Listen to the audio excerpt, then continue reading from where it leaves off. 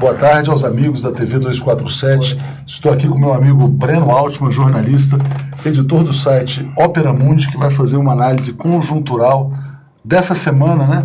A cada semana a gente vai tendo novos problemas para debater, o quadro vai, tornando, vai, vai, vai se tornando ainda mais obscuro, né? E é muito bom ter você aqui mais uma vez para debater o quadro político, Bruno. Tudo bem? Tudo jóia. Eu que agradeço o convite para mais uma vez estar aqui na TV 247. A casa é sua e a gente já vai uh, dizer para o nosso público qual é o nosso tema de hoje. A pauta inicial que o Bruno tinha pensado era falar sobre o avanço da direita na América Latina como um todo. Houve a eleição do Paraguai. Ontem a gente até trouxe um especialista que veio aqui falar sobre o Paraguai. Né? Uh, no entanto, você tem algumas eleições ali que tem um quadro um pouco mais favorável à esquerda, né? a gente até falava mais cedo sobre o México, onde existe uma possibilidade de vitória da esquerda, mas há uma ofensiva conservadora inegável. No entanto, os acontecimentos nacionais são muito importantes e a gente vai falar também do, do quadro de perplexidade na esquerda brasileira que se coloca a seguinte questão: para onde ir, né? Para onde ir? Como muitas pessoas já nesse primeiro de maio também surgiu essa discussão de, uma, de um eventual apoio do PT ao Ciro Gomes, a presidente do PT, Gleisi Hoffmann, uh, já falou logo cedo que nem com reza brava isso aconteceria. É, são temas que a gente vai abordar. Então já começo passando a bola para você, Breno. Nessa discussão mais quente, como é que você viu essa declaração do Jacques Wagner no 1 de maio? Foi um erro, um lápis, foi mal interpretado, foi fake news? como ele mesmo disse, o que, que aconteceu ali? Ah, ele hoje, é, de maneira pública, disse que não foi o que aquilo que foi publicado não foi o que ele disse, ele desmentiu de uma forma bastante taxativa a matéria do jornal Estado de São Paulo, que havia publicado essa especulação que o Jacques teria feito uh, do PT poder vir a ser vice do Ciro, de que estava na hora do PT abrir mão da, da, da precedência na disputa presidencial depois de 15 anos ele desmentiu isso. Uh, agora, em que pese esse desmentido, é importante debater o tema. Claro. Porque esse tema está tá em voga. Ele, ele, desmentiu, mas o fato é o seguinte: quem fez a reportagem foi o Ricardo Galhardo, que é um jornalista sério, colocou a declaração dele, mas o que ele. O desmentido é o seguinte: que ele estava falando abstratamente, que ele uhum. não estava falando no caso concreto. Claro. Né? E ele falou: olha, só vai se discutir uma coisa depois, quando alguém chegar e disser que o Lula não pode ou não será candidato. Mas o fato é que ele colocou a questão abstratamente. Mas vamos falar do tema então.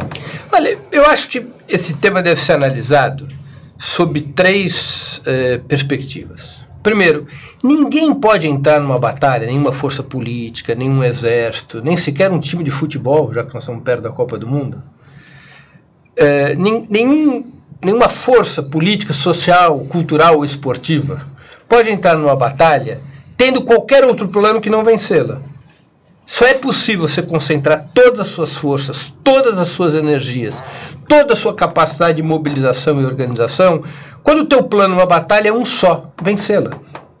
O PT traçou um, um objetivo e escolheu uma batalha. Uma batalha que o PT considera fundamental para a democracia brasileira, fundamental para a esquerda brasileira e fundamental para o próprio PT. Qual é essa batalha? A libertação do presidente Lula e seu direito de ser candidato nas eleições presidenciais. Portanto, qualquer discussão sobre plano B hoje é um desserviço a essa batalha. Ela desorganiza essa batalha e nada ajuda essa batalha. Só ajuda o inimigo. Só ajuda o inimigo. Não é à toa que o inimigo, através dos seus distintos canais, especialmente dos meios de comunicação, busca o tempo todo plantar a cisânia dentro do PT e da esquerda, escolhendo planos B, planos C, planos D, planos S. Ora é o Fernando Haddad, ora é o Jacques Wagner, aí aparece um outro, e vamos, o PT vai ser vice do Ciro. Já apareceu até especulação de que o PT vai dialogar com Joaquim Barbosa a respeito é. de candidatura presidencial. São operações diversionistas, Uh, cujo único objetivo é desorganizar a esquerda e o PT desta que é a batalha primordial.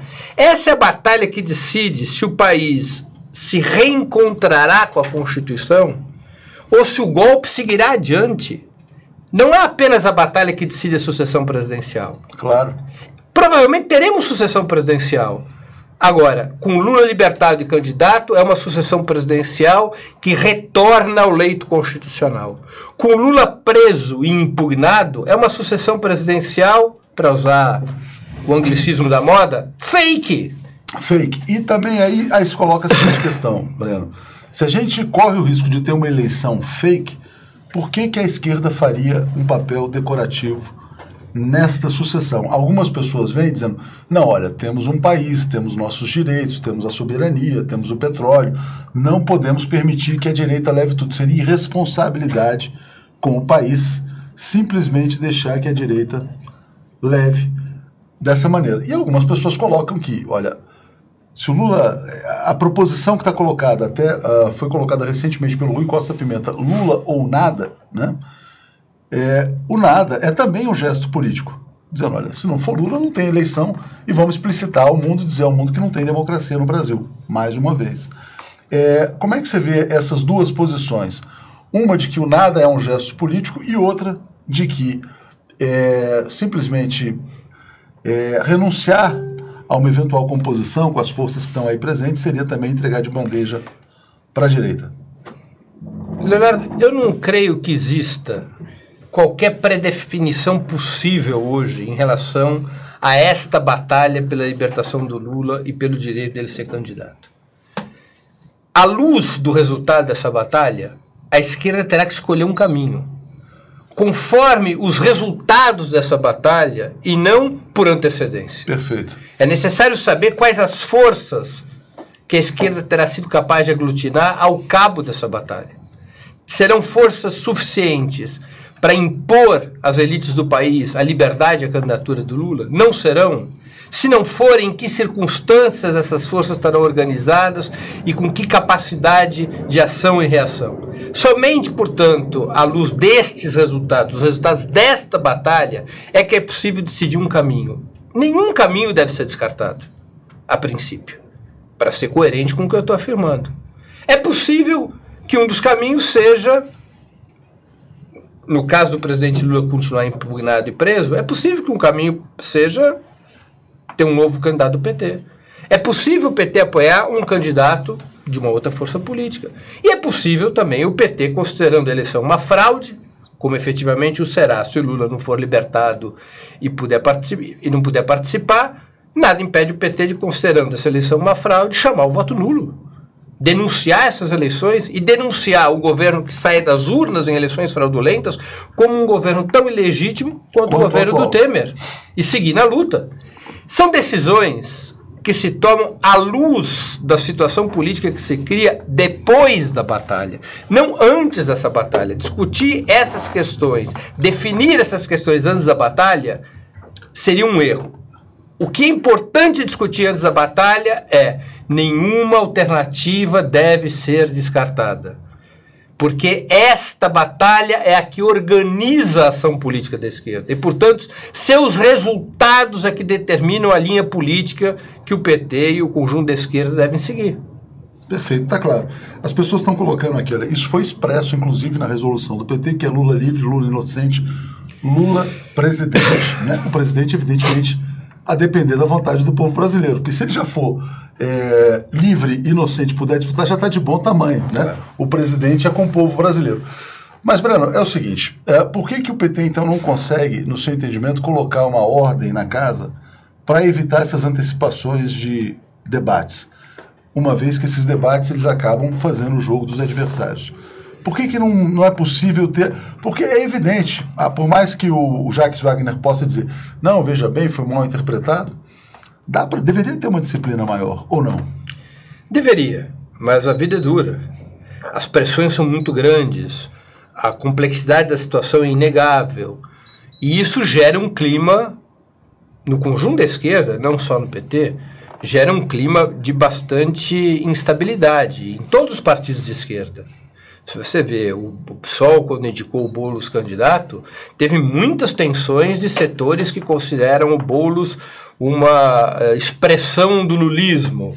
O PCdoB é um, é um, é um partido que está alinhado em torno da candidatura da Manuela, sempre teve uma aliança muito firme, uma aliança estratégica com o PT, mas aqui em São Paulo apoia o Márcio França, que era o vice-governador do Alckmin. Então, Todos os partidos de esquerda têm suas contradições, têm suas tensões.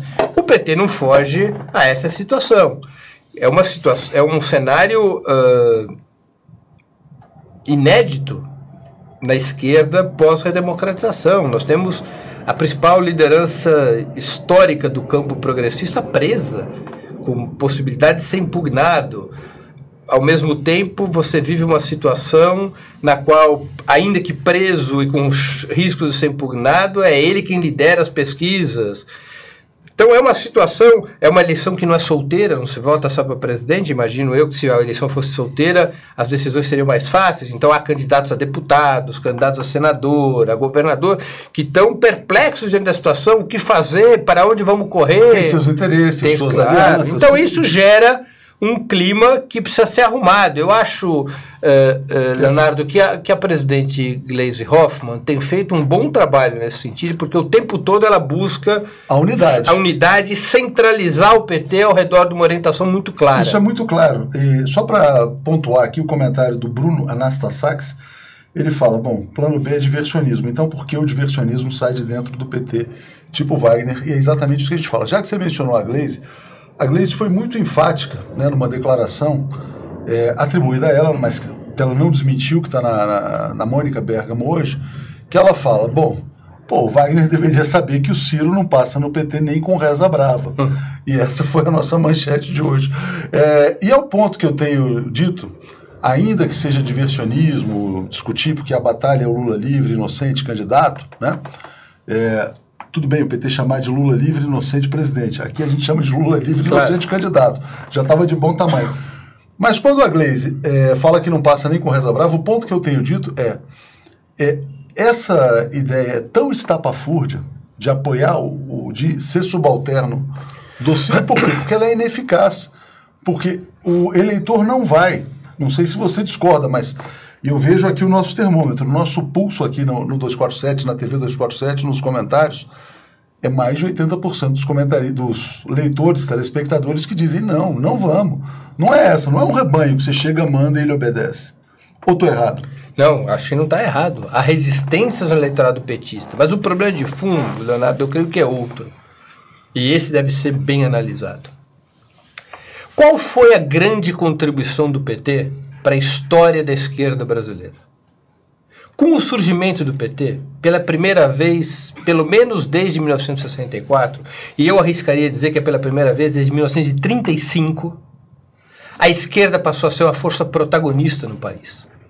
Até o surgimento do PT, em especial até o PT se consolidar em meados dos anos 80, a esquerda brasileira era caudatária de alguma fração mais progressista da elite brasileira Sejam frações nacionalistas, como foi o varguismo. Pega uma beiradinha no Juscelino. Sejam frações modern, modernizantes da burguesia brasileira, como foi o Juscelino.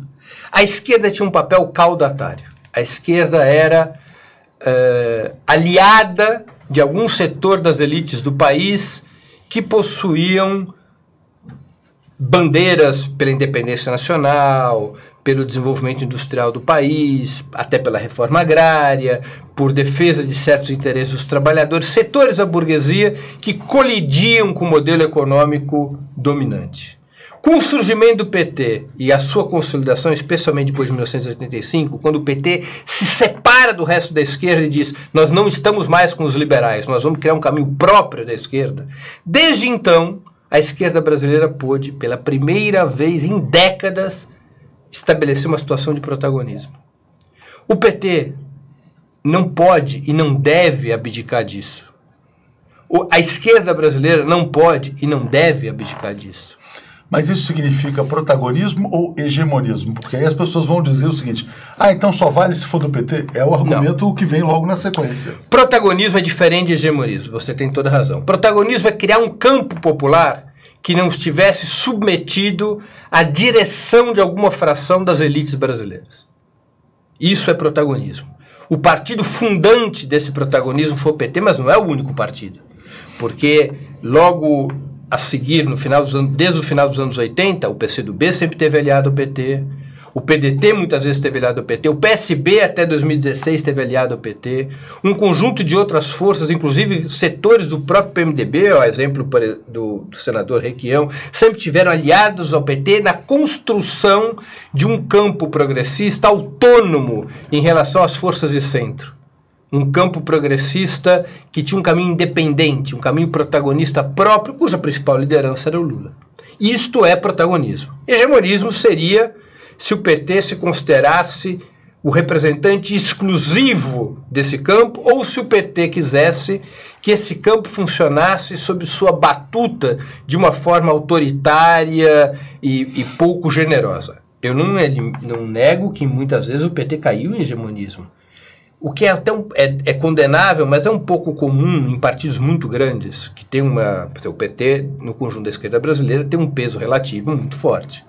Esse peso relativo muito forte, se ele não é cuidado, pode se transformar em hegemonismo. Não é que nem aquele acionista que é dono de 70% é, de uma empresa. Fala assim, pô, você vai querer voto aqui agora, cara? Claro, e você impõe sua vontade e não consulta. Claro, você precisa se controlar. O PT teve muitos momentos de hegemonismo, especialmente quando estava no governo, isso é inegável. A construção, por exemplo, de uma frente como a Frente Brasil Popular, que veio se formando na resistência ao impeachment, é, talvez um dos motivos pelos quais ela não tenha sido construída durante o, os governos petistas, talvez um dos motivos tenha sido uma certa tendência hegemonista do PT que não considerasse necessária uma aliança desse tipo de caráter permanente, ampla, uh, naquele momento, em que o PT tinha muita força e governava o país, ou liderava o governo do país. Mas o que nós estamos aqui falando é de protagonismo. Assim, a esquerda construiu um caminho independente em relação ao centro. A esquerda, ao construir um caminho independente, criou um, um, um espaço político no qual o agente principal é a classe trabalhadora. Abrir mão disso seria um gravíssimo erro. Esse é o pano de fundo de por que o PT é, não sairá apoiando um candidato que não tenha claramente um compromisso com o campo popular. Não é uma mesquinharia partidista essa declaração da presidente Gleice Hoffmann, a meu juízo.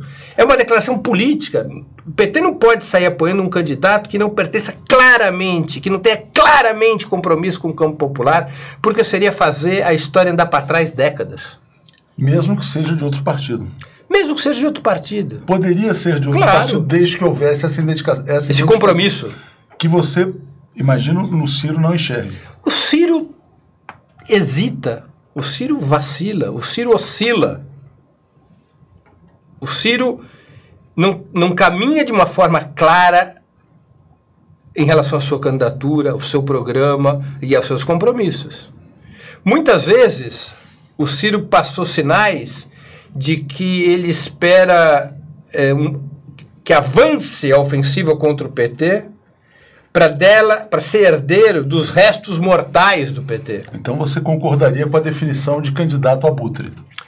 Eu não seria taxativo sobre isso, mas ele sinaliza às vezes que é esse seu espírito não é? Que ele funcionaria um pouco que nem os fundos abutres. É, tipo, morreu, deixa eu pegar as sobras aqui. Não é? Às vezes não é claro o compromisso. Não é claro o compromisso do Ciro em relação ao campo popular, embora ele tenha participado dos governos petistas, embora ele defenda programaticamente medidas que se alinham ao campo popular, ele precisa deixar mais claro o seu compromisso com a esquerda e com o campo popular. O, o Ciro mesmo reconhece que seu histórico não o recomenda passou por sete partidos, já foi do, do governo do Fernando Henrique, saiu do governo do Fernando Henrique. Ou seja, ele tem um grau de oscilação, o que em si não é condenatório, não é, não é, não é caso único, por si só não determina o papel que o Ciro pode vir a cumprir, não devemos ter sectarismo em relação ao Ciro, mas efetivamente, do ponto de vista de uma estratégia política, é claro que o Ciro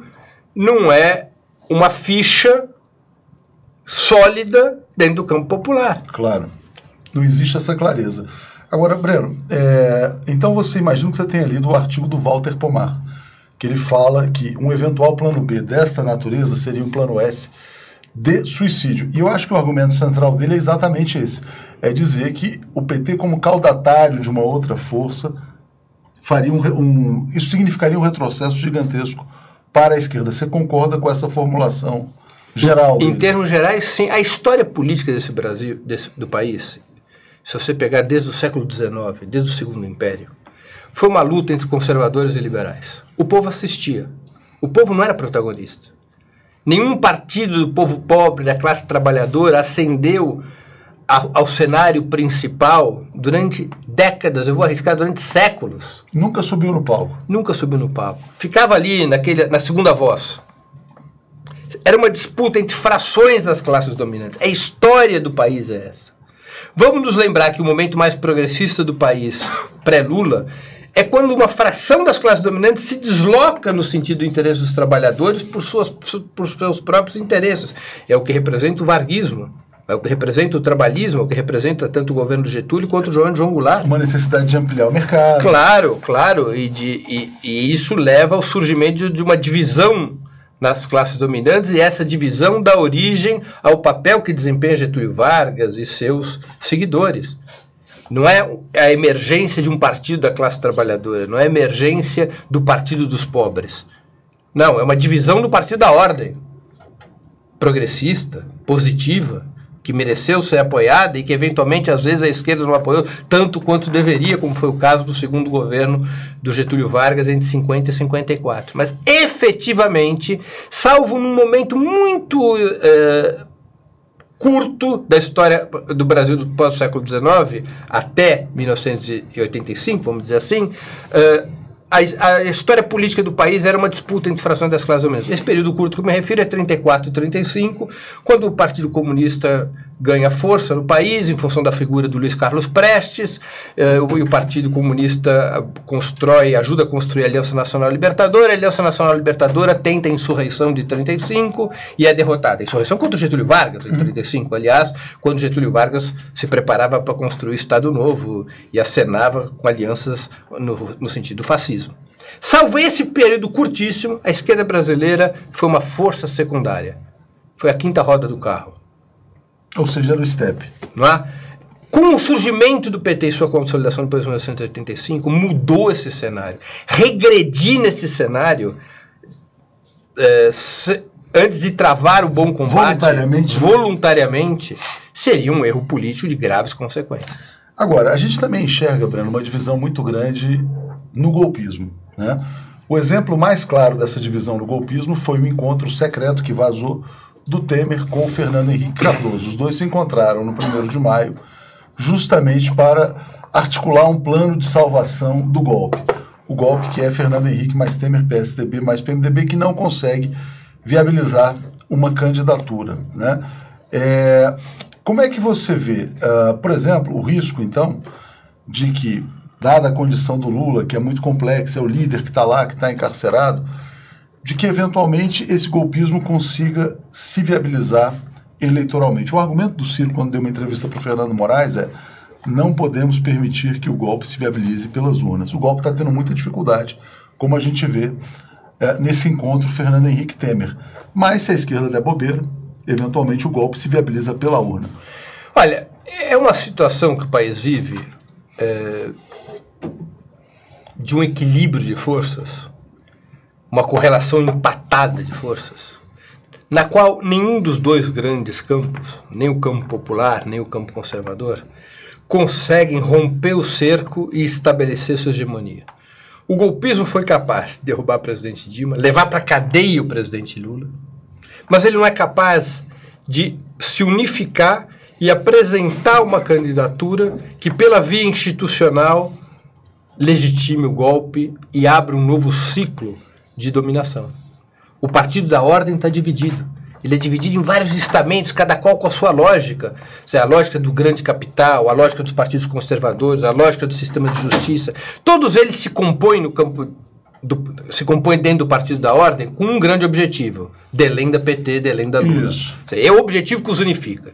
Do Moro ao Temer, do juiz de Curitiba ao futuro réu de Curitiba, o que os unifica? Derrotar o PT derrotar Lula, derrotar a esquerda. Unifica todos eles. É a única bandeira de unidade do Partido da Ordem. É por isso que futuros réus também têm até uma certa claro, proteção, claro. né? Vamos dizer então, assim. Eles não conseguem ter uma candidatura que unifique o Partido da Ordem, ou que pelo menos viabilize o Partido da Ordem como uma alternativa competitiva para eleições eh, presidenciais, ainda que sejam eleições fraudulentas. Como serão. Nem na fraude eles conseguem. Nem na vencer. fraude eles conseguem hoje ter solidez. eh, Precisamos olhar mais pra lá, tá, Tá bem. É Nem é na- difícil, a gente conversa assim, mas tudo bem. Nem na fraude eles conseguem ter uma candidatura sólida que possa ser apresentada como ah, alternativa. Eles vivem outros problemas. O surgimento de uma candidatura como a do Bolsonaro não estava no script. É a consequência natural. É a não consequência natural da estratégia que eles tiveram. Eles, tinham, eles necessitavam de uma direita militante para mobilizar as, as massas da- das classes médias contra o governo petista. Essa direita militante não iam ser os cheirosos do PSDB. Não iam ser aquele pessoal de unha feita, é, pali- é, camisa, Camisa engomadinha. PA, assim, com- com- com iniciais. Isso aqui tem que ser feito pelo pessoal bruto. E o pessoal bruto é o bolsonarismo, é o fascismo. Esses que botaram massa na rua. E esses saíram da jaula. O centro democrático abriu a, a jaula para que as forças do neofascismo fossem às ruas derrubar o governo do PT. E agora tem enorme dificuldade de botar a bicharada de novo na jaula. Eles não querem voltar pra jaula. Não querem voltar para a jaula. E tem uma candidatura que expressa esse mundo zoológico da ultradireita, que é a candidatura do Bolsonaro, que tem de 15% a 20%. Isso também não estava no cálculo do bloco golpista. Ainda que o Bolsonaro faça parte do Partido da Ordem, ele é uma parte marginal, Marginal. Deslocada. deslocada, Como, desfuncional Desfuncional. para a hegemonia das elites do país. Como, de certa maneira, o Trump também nos Estados Unidos é um acidente, né? Porque o, a lei e a ordem não queriam voluntariamente. O Trump, ele foi lá Eu acho que o Bolsonaro é, é um fenômeno diferente e pior do que o Trump. O Trump expressa uma parte das classes do- da, da elite americana, da elite empresarial americana, de maneira muito orgânica. O velho capital americano, da velha indústria, reivindicava um nacional- nacionalismo bruto, que fechasse o mercado interno americano para que eles pudessem se defender da concorrência internacional. O Trump tem uma organicidade numa fatia da elite empresarial norte-americana e numa fatia da classe trabalhadora Claro. que queria defender seu emprego. O Bolsonaro é um fenômeno muito menos orgânico do que, o Trump. É, não, mas é, eu só fiz a comparação no sentido de que ele não era uma força majoritária sim, entre os certamente. republicanos. Sim, sim, sim, né? sim, sim. E o próprio sistema preferia Claro, a vitória democrata da claro. Hillary Clinton é, na eleição entre os dois. Então ele era minoritário ali. Agora, e venceu, né? Nesse caso que está colocado aqui, se a gente pega é, esse encontro Temer-Fernando Henrique, como é que você é, imagina os próximos movimentos da direita brasileira? Como é que eles vão tentar se unificar e se essa unidade do que eles chamam centro, mas a gente chama de golpe, se isso poderá ter algum efeito eleitoral? Fala-se, por exemplo, Alckmin Meirelles, é, enfim, tem especulações aí na praça. Olha, centro-direita, o bloco golpista. Aliás, é até o tema do 20 minutos que você vai fazer Claro, amanhã. amanhã. Amanhã, Isso. às quatro e meia da tarde, Vamos vamos, fazer o a comercial. falar sobre isso. Amanhã, 4 e meia, no Facebook do Ópera Mundi, para onde vai a direita brasileira. No Facebook e no YouTube No também. Facebook e no YouTube por Breno Altman. Diga lá. Há- Há uma fragmentação do bloco golpista, da centro-direita, como alguns preferem chamar. Eh, você tem quatro candidaturas, tem três candidaturas de relevo, três candidaturas de menor Subalternas. sub- subalternas. Três candidaturas de relevo. Alckmin, pelo PSDB, é uma candidatura de relevo. O Joaquim Barbosa, que vem pelos, pelas mãos do PSB, é uma candidatura de relevo. A Marina Silva é outra candidatura de relevo. Você tem três outras candidaturas secundárias. Rodrigo Maia é uma candidatura secundária. Temer ou Meirelles, vindo pelo MDB, é outra candidatura secundária. E o Álvaro Dias é uma terceira candidatura secundária. Você tem seis candidaturas do bloco golpista. Seis candidaturas. Que não fazem um Lula, golpista né? juntos, eu, eu não tenho eu não tenho convicção de que façam um Bolsonaro hoje. Certamente não fazem o Lula. Juntos hoje, eles são pouca coisa maior que um Bolsonaro.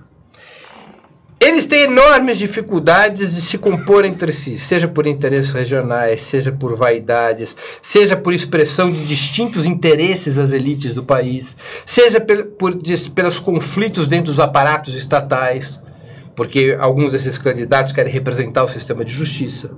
outros candidatos representam as elites que foram parcialmente atingidas pelo próprio sistema de justiça, ou fazem parte dos partidos que foram atingidos pelo sistema de justiça através da Operação Lava Jato. Quer dizer, é uma grande bagunça nesse terreno. O esforço que nós podemos vislumbrar na última semana eh, foi em duplo sentido. Certos setores das elites, dos meios de comunicação, dos operadores da direita, trabalham para colocar Meirelles como vice do Alckmin. E outros setores trabalham por uma chapa que tenha na cabeça o Joaquim Barbosa e que arraste como vice a Marina Silva. A operação já começou, São já as tá duas, jornais. Já está nos jornais. Será um processo de é, cerco aniquilamento das possibilidades da Marina Silva, demonstrando sua inviabilidade, incapacidade de atrair aliados, incapacidade de atrair recursos, incapacidade de reproduzir uh, a performance eleitoral de 2010 e 2014, e com isso empurrando a Marina para uma situação na qual ela seja forçada a se compor com o Joaquim Barbosa. Mas- Numa chapa mais centrista, Mais centrista porque não está claro também o pensamento do Joaquim Barbosa. Ele ainda não capitulou diante do mercado. Ele ainda não beijou a cruz no sentido assim, olha, ah, eu teria aqui o meu Armínio Fraga. como todo hipócrita, ele já beijou a cruz, ele Você só acha? não mostrou em público. É, pode ser. Pode ele ser. já beijou a cruz. Não há nenhuma dúvida sobre os interesses que representa o Joaquim Barbosa. Ninguém faz o que ele fez do ponto de vista da, do atropelo constitucional cometido durante a P470 sem estar organicamente vinculado a determinados interesses de classe. Ou seja, ele é um, um, um, um candidato, um pré-candidato, que se vincula de um certo jeito à agenda liberal, à agenda do grande capital. Nenhuma dúvida sobre isso. Por isso que eu não temeria em classificá-lo como uma das opções da direita. Da direita. Agora, é claro que a sua forma de abordagem dessa agenda é diferente da do Alckmin, porque ele o Alckmin faz precisa... privatizar a Petrobras. Claro, Ele Joaquim Barbosa precisa acender uma vela a Deus, outra ao diabo. Ele precisa. Ele só é funcional para o capital, o Joaquim Barbosa. Vamos ser claros. Ele só é funcional para o capital por três motivos. Porque ele é negro e pode mostrar que a burguesia brasileira. Olha só, não somos mais racistas, a gente agora é moderno. É. A gente aceita um candidato. Ah lá, Obama. Que, por exemplo, a prisão do Lula não foi a prisão do povo. né? Isso, dizer então é a primeira coisa. Segundo, que ele é pobre, ele não é um homem das elites, ele é um homem que se fez sozinho. Mais ou menos. Lembra o- a capa da Veja, né? O Isso. menino pobre Que mudou o Brasil. Que mudou o Brasil. É, terceiro, ele não tem cumplicidade com o esquema de poder que deu o golpe de Estado. Ele até foi um crítico do impeachment. Ele está fora do sistema. Ele só é funcional se ele puder desempenhar, do ponto de vista conceitual, o mesmo papel que Fernando Henrique Cardoso desempenhou em 94. Quando a crise de hegemonia da burguesia brasileira se radicaliza depois da queda do Collor, onde eles foram buscar uma alternativa? Num quadro orgânico da direita? Foram buscar alternativa num Delfim Neto? Foram buscar alternativa num Maluf? Foram buscar alternativa num ACM? Não, foram buscar alternativa num homem que vinha do campo democrático. Mas num homem que que, tinha resistido à né? ditadura. E com, através desse cidadão que vem do campo progressista, o que vem do campo democrático, eles reconstruíram a hegemonia do grande capital. Joaquim Barbosa, conceitualmente, é isso. A Neiva está dizendo que ele é o pai do golpe. Neiva Maria de Almeida, que estava aqui saudando a sua presença. Então você tem Joaquim Barbosa, candidato à direita. Marina Silva à direita. Álvaro Dias à direita, mais menor. Meirelles, Maia e o Alckmin, que não decola. Nesse cenário ah, dessas candidaturas não se habilizarem, você não vê nenhuma brecha por uma composição da burguesia nacional com Lula, a hipótese de acordo, de se chegar à conclusão de que, olha, olha, desculpa, gente, foi mal, fizemos merda, mas Nenhuma hipótese. nenhuma hipótese. Não, porque o golpe foi um golpe de classe. Ele não foi um golpe. Mas que feriu os interesses da classe dominante, ou de parte dela. Eu não acredito nisso. Não, feriu, porque certamente Não, você, não, tem, não. Eu- você tem uma economia era- moribunda. Mas é, é que nós temos que compreender isso de uma maneira mais ampla. Ainda que interesses secundários tenham sido atingidos, há um processo no qual os interesses dominantes são majoritariamente atendidos pelo golpe de classe, porque é um- um- uma mutação no capitalismo brasileiro, uma nova etapa do capitalismo brasileiro que nós temos que olhar com muita atenção. Mas Há um processo, a burguesia brasileira, ela, ela abdicou do seu papel orgânico. Ela se transformou em uma burguesia rentista em totum. Se você pegar o balanço das 500 maiores empresas não produtivas do país, não financeiras do país, eu estou falando do balanço de 2013 e dali para cá, só piorou. mais de metade dessas empresas tinham mais lucro financeiro do que lucro, operacional. O que, que isso quer dizer? Quer dizer que o rentismo vai tomando conta da elite do país. A elite do país já não quer mais investir em ciência e tecnologia, já não, não quer ter mais fábrica, não quer mais o desenvolvimento industrial, não quer mais o crescimento econômico. O que ela quer é ter ativos financeiros de alta rentabilidade e grande segurança. Esse é o fluxo da burguesia brasileira. Eu vou te ser assim, caricato. A burguesia nacional cometeu suicídio no país. No seu melhor momento, ela cometeu suicídio, porque ela se apavorou diante da crise de 2008 e abriu um novo ciclo de venda dos seus ativos. A burguesia brasileira está vendendo seus ativos e rentabilizando, transformando esses ativos em ativos financeiros. E isso vai criando uma agenda dominante na burguesia brasileira, inclusive naqueles setores que antes se chamavam de setores nacionais da burguesia, que é uma agenda rentista. O que pode ser um suicídio. Se você olhar os indicadores, por exemplo, da dívida interna, que foram de praticamente 40% do PIB com o governo Lula, estão indo para 75%. Né? A gente pode estar criando uma situação de total insustentabilidade.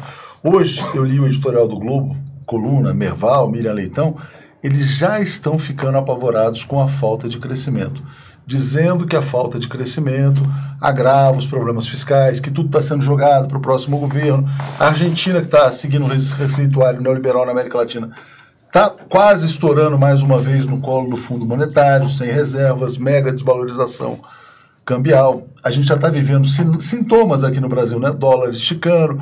As pessoas, ah, não, mas veja bem, isso é incerteza política. Não, isso é fragilidade econômica. O golpe, ele necessitaria de alguma base econômica. Eu acho que todos eles se enganaram. Né? Eles achavam que esse meirelismo iria gerar um mínimo de crescimento econômico. Hoje sai um dado industrial, queda da produção industrial no Brasil. Então, né? Mas, alguma base econômica mas, precisa. Leonardo, eu, vou, eu vou chamar a atenção para um, um fenômeno aqui. Porque senão as contas públicas explodem, Mas é que, é que a, a, a, E aí o ativo financeiro é implode que, igualmente. É que nós temos que estudar melhor, compreender melhor, debater melhor como é que funciona a psicologia da burguesia rentista. Ela dá a mínima para isso. Quem dá, quem presta atenção nessas coisas são seus analistas. Até o dia do calote. Mas, meu cara, é igual. Vamos nos lembrar como é que funcionavam os senhores das terras no Brasil? Com suas próprias terras e os escravos. Muitos analistas da época diziam: vamos tomar cuidado com a exploração extensiva das terras, vamos tomar cuidado com o nível de exploração da força da mão de obra escrava. Se for nesse nível de exploração, logo mais não haverá terras para o plantio, logo mais não haverá escravos para plantio, o plantio e para a colheita.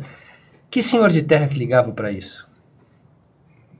Ou seja, a psicologia média da burguesia brasileira é assim: juros altos, oba, estou ganhando mais o governo está com dificuldade de pagar suas contas, oba, ele vai oferecer mais juros para poder pagar suas e contas. E se der o calote? E se reestruturar? Mas é, é a história da fábula do, do escorpião e do sapo. O sapo estava atravessando o rio, o escorpião pede uma carona. O sapo dá, fica em dúvida e diz: Escorpião, você vai me picar e vai me matar. O escorpião jurou: Não vou fazer isso, seu sapo. Por que, que eu iria te picar se eu vou morrer afogado junto com você na travessia do rio? O sapo parou, pensou e deu carona pro escorpião. No meio do rio, O escorpião picou. O sapo, mas escorpião, que é isso? Os dois vão morrer afogados. Não consigo fazer nada, mais forte do que eu. Essa é a lógica da burguesia brasileira. É, mas enfim, mas eu acho, Bruno, que eles estão cavando um suicídio muito mais amplo. Porque se foi um suicídio, como você falou, né, no seu melhor momento, sair vendendo tudo, eu acho que pode ser um suicídio maior se ancorar nesse capitalismo financeiro num país que não gera crescimento.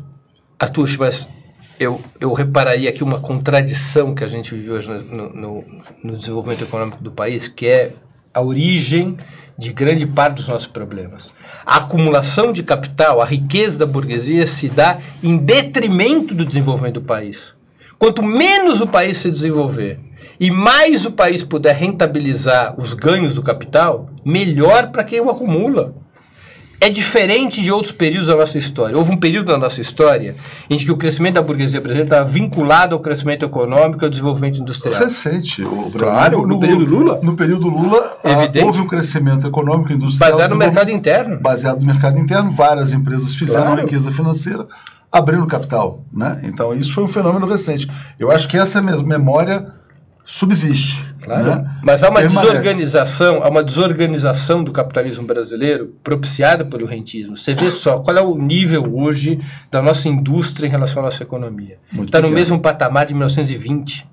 A indústria brasileira equivale a 14% da nossa economia. Deixa eu só agradecer um comentário aqui do Irlan Iglesias, está dizendo 247 é Lula, não é Ciro Butre, porque entrou um pessoal dizendo que, dizendo que nós somos Ciro Butre. O fato da gente levantar a discussão do Ciro não significa que nós sejamos Ciro Butres. Nós, seja, nós defendemos aqui a eleição com Lula e estou mais propenso... E a pluralidade de debate sobre e, o tema. E a pluralidade de debate. Eu estou mais propenso aqui a proposta do ou Lula ou nada, né, do que, bom, ah, então sem Lula vamos encontrar o melhor caminho. Aliás, se for esse o debate, quer dizer, como é que você se coloca pessoalmente?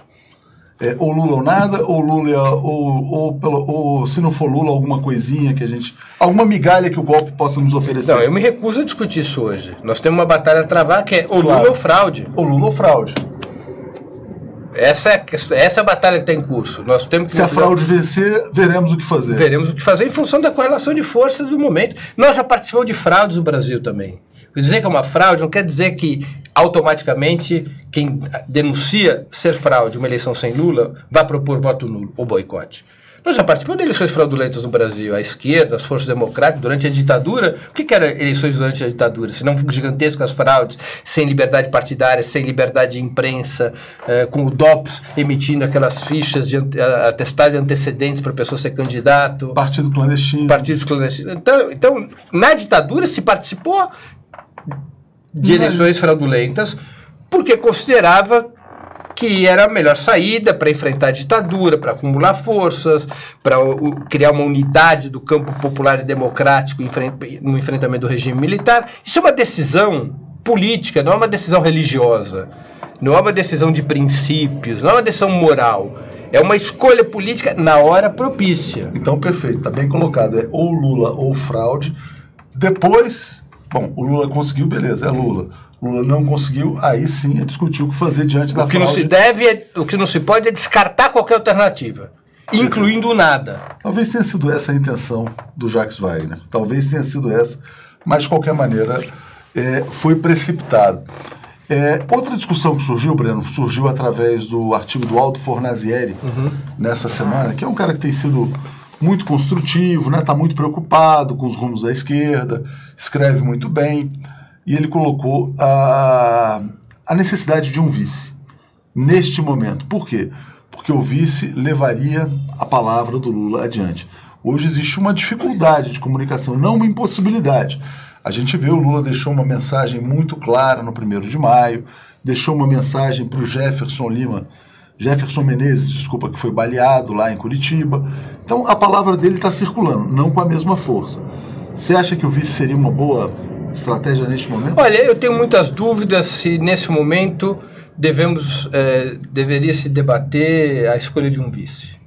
Acho que é uma escolha que deve ser bastante ponderada uh, diante de um cenário no qual, evidentemente, o objetivo principal dos inimigos do PT e da esquerda é difundir ao máximo a invisibilização e a inviabilização da candidatura do Lula. Você tem um vice, você pode jogar água nesse moinho de que, olha só, a esquerda e o PT já estão abdicando a candidatura do Lula, esse vice, na verdade, não é um vice, já é o nome para substituir o Lula.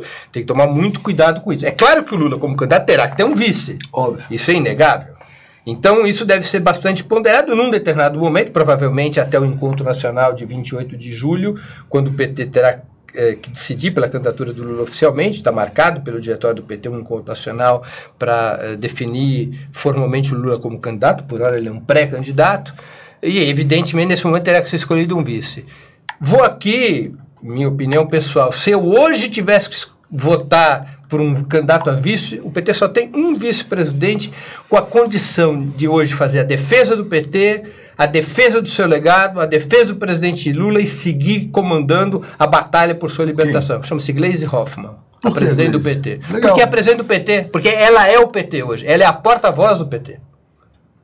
Ela encarna o Partido dos Trabalhadores. Ela encarna hoje a, a, a, a principal, o principal veio do campo popular. Agora, você não acha que isso teria como consequência imediata disparos de canhão contra ela? que tem processos para responder? Claro, ela já está sob disparo de canhão pelo papel que ela já desempenha, porque ela comanda essa batalha pela libertação do Lula. Aliás, falando nisso, a Gleisi Hoffmann tomou uma decisão muito interessante ontem, não sei se você acompanhou.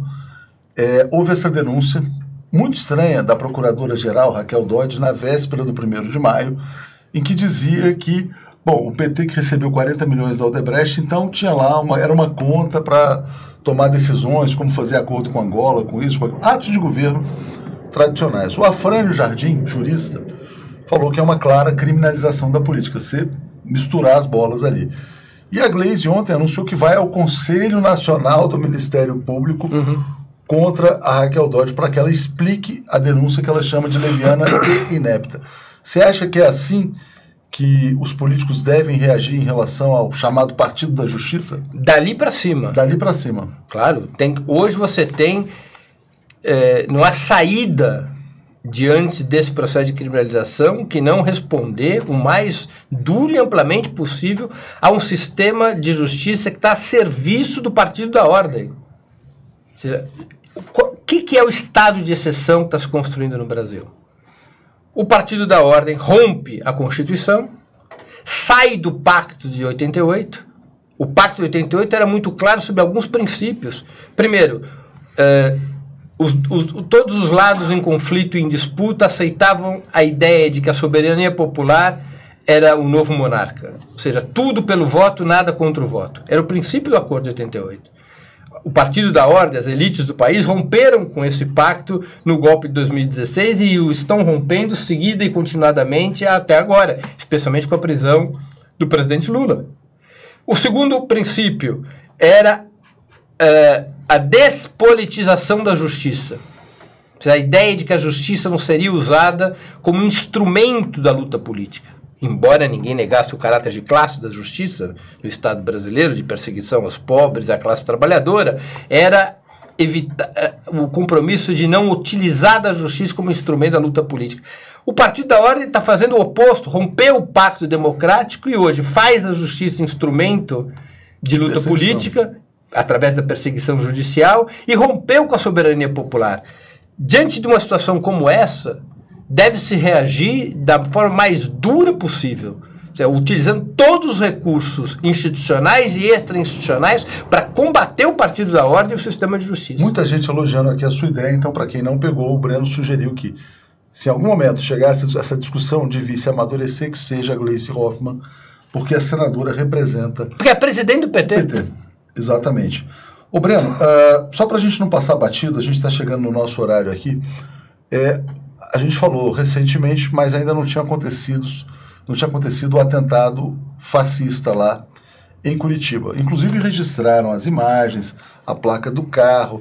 Você acha que vai haver alguma punição? A mensagem que as instituições estão dando é pode matar, pode atirar? Já tem o, o, culpado do assassinato da Mirelle Franco no Rio? 48 dias. Já tem os, os, responsáveis pelos ataques contra as caravanas do Lula no Sul? Não, já existe uma, uma fala do delegado de que ele chegou à conclusão de que o disparo foi intencional. Puxa, quantos dias ele levou para ter essa conclusão? Pois é, pois é. A gente sabia disso quanto tempo depois? É meio óbvio, né? Não, não foi Sei. por acidente, né? Sabia-se que naquele ônibus havia lá uma. Ou alguém estava matando passarinho. Pois é. Não é? Então é evidente, isso aqui é tudo uma fraude é uma mistura de fraude com incompetência, mas é evidente que o clima no país, o clima no sistema de justiça, o clima dominante, não são todos, evidentemente tem policiais é, comprometidos mas com o país. Mas não te espanta se você não vê a OAB se pronunciar? Mas a quem comanda, é que a OAB hoje, comandada pelo seu atual presidente, é parte do sistema de justiça. Você vê o presidente da OAB defender os direitos, eh, o direito de defesa, defender as prerrogativas dos advogados. Que é o que fazem os advogados, né? Não, a OAB é excelente sobre isso. A OAB está sendo vilipendiada pela Carmen Lúcia, porque uma das ADCs em relação à execução provisória de segunda instância é da OAB. Você vê a OAB reclamar do comportamento Vamos ser claros. Do crime de prevaricação da Carmen Lúcia em relação à votação da ADC, a presidente da corte não coloca em votação porque suspeita que eventualmente perderá a votação. Isso é crime de prevaricação. Ela devia estar sofrendo processo de impeachment, Carmen Lúcia. Você vê a OAB reclamar disso? Mas ninguém do PT propôs também, né? Então, o que você vê hoje em relação ao OAB é que ele é partícipe desse sistema de justiça, majoritariamente partícipe desse sistema de justiça e partícipe do Partido da Ordem contra as forças populares e a esquerda. Ou seja, mas uh, como consequência prática, esse silêncio acaba estimulando mais violência. Você acha que a gente vai entrar num período de mais violência política no Brasil? Eu não tenho dúvidas de que o cenário político irá se radicalizar se nós não encontrarmos uma saída democrática. A única saída democrática possível é o voto limpo. Concordo com você, mas Se isso... não houver o voto limpo, e o voto limpo é Lula na cédula, eleições democráticas. Sem isto, a elite do país mais uma vez estará condenando nossa nação a um período sombrio. Um período sombrio quer dizer um período de violência política. Porque não tenhamos dúvida sobre isso. Na medida em que se rompe a Constituição, na medida em que os monstros saem da jaula para esses atentados milicianos contra o PT e contra a esquerda, como foi o caso também contra a vereadora do PSOL. Na medida em que a Constituição não é respeitada, que o direito de defesa não é respeitado, que a justiça vira instrumento de aberta disputa política, numa situação como essa, onde se rompe o Estado de Direito forma, forjado na Constituição de 88, não apenas a violência reacionária, fascista crescerá, como mais cedo ou mais tarde, haverá uma reação. haverá autodefesa. Haverá reação, deverá haver reação. É, é, o que disse o senador Requião, dizendo: olha, fiquem atentos, porque isso aí também vai ter outro lado. Evidente. Em algum momento emergirá. Está já inscrito, na minha opinião, a violação da, da Constituição de 88, a, a ruptura da Constituição de 88, já colocou em tela, já colocou na agenda, Leonardo, uma questão fundamental, que é o direito à desobediência civil. Quando não há mais Constituição, então, não há mais Estado de Direito e se estabelece o direito à desobediência civil e o direito à rebelião. Isso é da, do direito internacional, isso é da tradição dos povos e isso é um direito democrático dos povos contra a tirania. O direito à desobediência civil e à rebelião. É, eu vou fechar, Breno, com a fala da Luciana Escobar, dizendo: sem voto limpo é voto nulo. No entanto, lembrando que ainda existe a batalha pelo voto limpo, que ela não se esgotou. Claro. A batalha Está apenas no começo. Ela está no começo, né? Exatamente. E aqui surgiu também uma chapa Lula presidente, Breno vice, só para você saber que você foi lançado a vice-presidente, mas você já lançou a Glaze Hoffman. Obrigado, Breno. A gente ia falar sobre a América Latina, a gente fala numa próxima oportunidade. Assistam todos vocês amanhã, 20 minutos, no Opera Mundi, na, no YouTube. Aliás, inscrevam-se já no YouTube do Opera Mundi também, canal importantíssimo. Tem dado aulas de história lá, dois programas semanais, né? Então, quem puder se inscrever, por favor, no Opera, é só ir lá, clicar, ativar as notificações.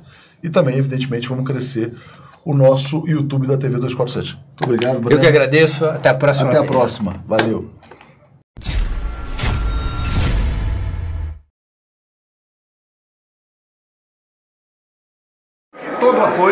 TV 247. Precisamos ter mais e mais veículos para diversificar a informação do nosso público.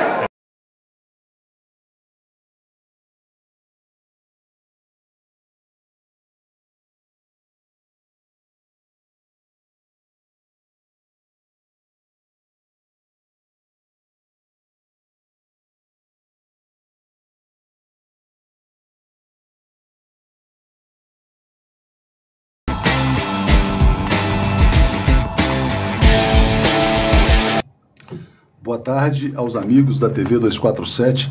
Recebemos aqui hoje com muita alegria o chargista Carlos Latuf, além de tudo, nosso amigo, colaborador, colaborador do 247 já há muito tempo, o chargista brasileiro mais reproduzido mundo afora, né? Muito conhecido aí também por ter um, uma arte bastante engajada. Quem vai entrevistá-lo é meu amigo Mauro Lopes, jornalista que está aqui se somando à equipe do 247 também como nosso colunista, editor, né? Já trabalhou durante muito tempo na Folha, hoje edita o blog Caminho para Casa e também agora é editor do 247. Ao meu lado, Leonardo Atush. Então, boa tarde, Latuf, tudo bem? Muito boa tarde a você e aos internautas. A Já- você também, Mauro. Tudo bem? Já tem, olha, exatamente, olha, o Porto aqui já está dizendo, Latuf, aquele que desenha com uma navalha, sob a pele da sociedade. Obrigado, Mauro, por Obrigado. estar aqui com a gente também. Tá, obrigado, alegria. E tô te entrevistando hoje na minha estreia como editor do 247. É uma alegria dobrada. Dobrada, então. Alegria dobrada. nossa, alegria dobrada. nossa, claro. Eu queria te pedir até, antes da gente começar a te entrevistar, a gente vai mostrar várias charges do Latuf, muita gente já o conhece, mas eu queria que você comentasse essa definição que veio aqui do Porto, dizendo que você desenha com uma navalha. É assim que você desenha? Você acha que ele fez uma definição apropriada do Carlos Latuf? Absolutamente correto, é verdade. Os temas que eu trato são realmente temas que cortam não só as pessoas que, é, que vêm, né, os leitores, mas também a mim. Né? Principalmente quando eu desenho sobre violência policial, tem certos desenhos, questão palestina, tem certos desenhos que cortam a mim também. É, você, é, esse tema da violência policial é bastante recorrente, né? Você fez charges, e as suas charges são muito reproduzidas, né? É. Você também tem uma atitude que, por exemplo, embora você contribua com o 247, muito frequentemente você cede gratuitamente o teu trabalho para vários veículos, porque você também tem esse desejo de levar o mais longe possível a sua mensagem. A sua arte também tem um caráter, muitas vezes, de denúncia, né? Sem dúvida nenhuma. Sempre que eu vejo alguma das minhas charges sendo reproduzida por manifestantes, é, é, sempre uma grata satisfação, porque o papel da charge, inicialmente, originalmente, é editorial. É ilustrar uma matéria, ilustrar um artigo, né? Então, quando ele, ele transcende esse papel e vai ganhar as ruas através de um, de um pôster feito por um manifestante ou na camisa de alguém, às vezes até é, já tem vários casos de pessoas que fizeram tatuagens com charge, então, ele está transcendendo esse papel editorial e está tá ganhando um papel mais de militância, de papel histórico. Realmente. Exatamente. Bom, você.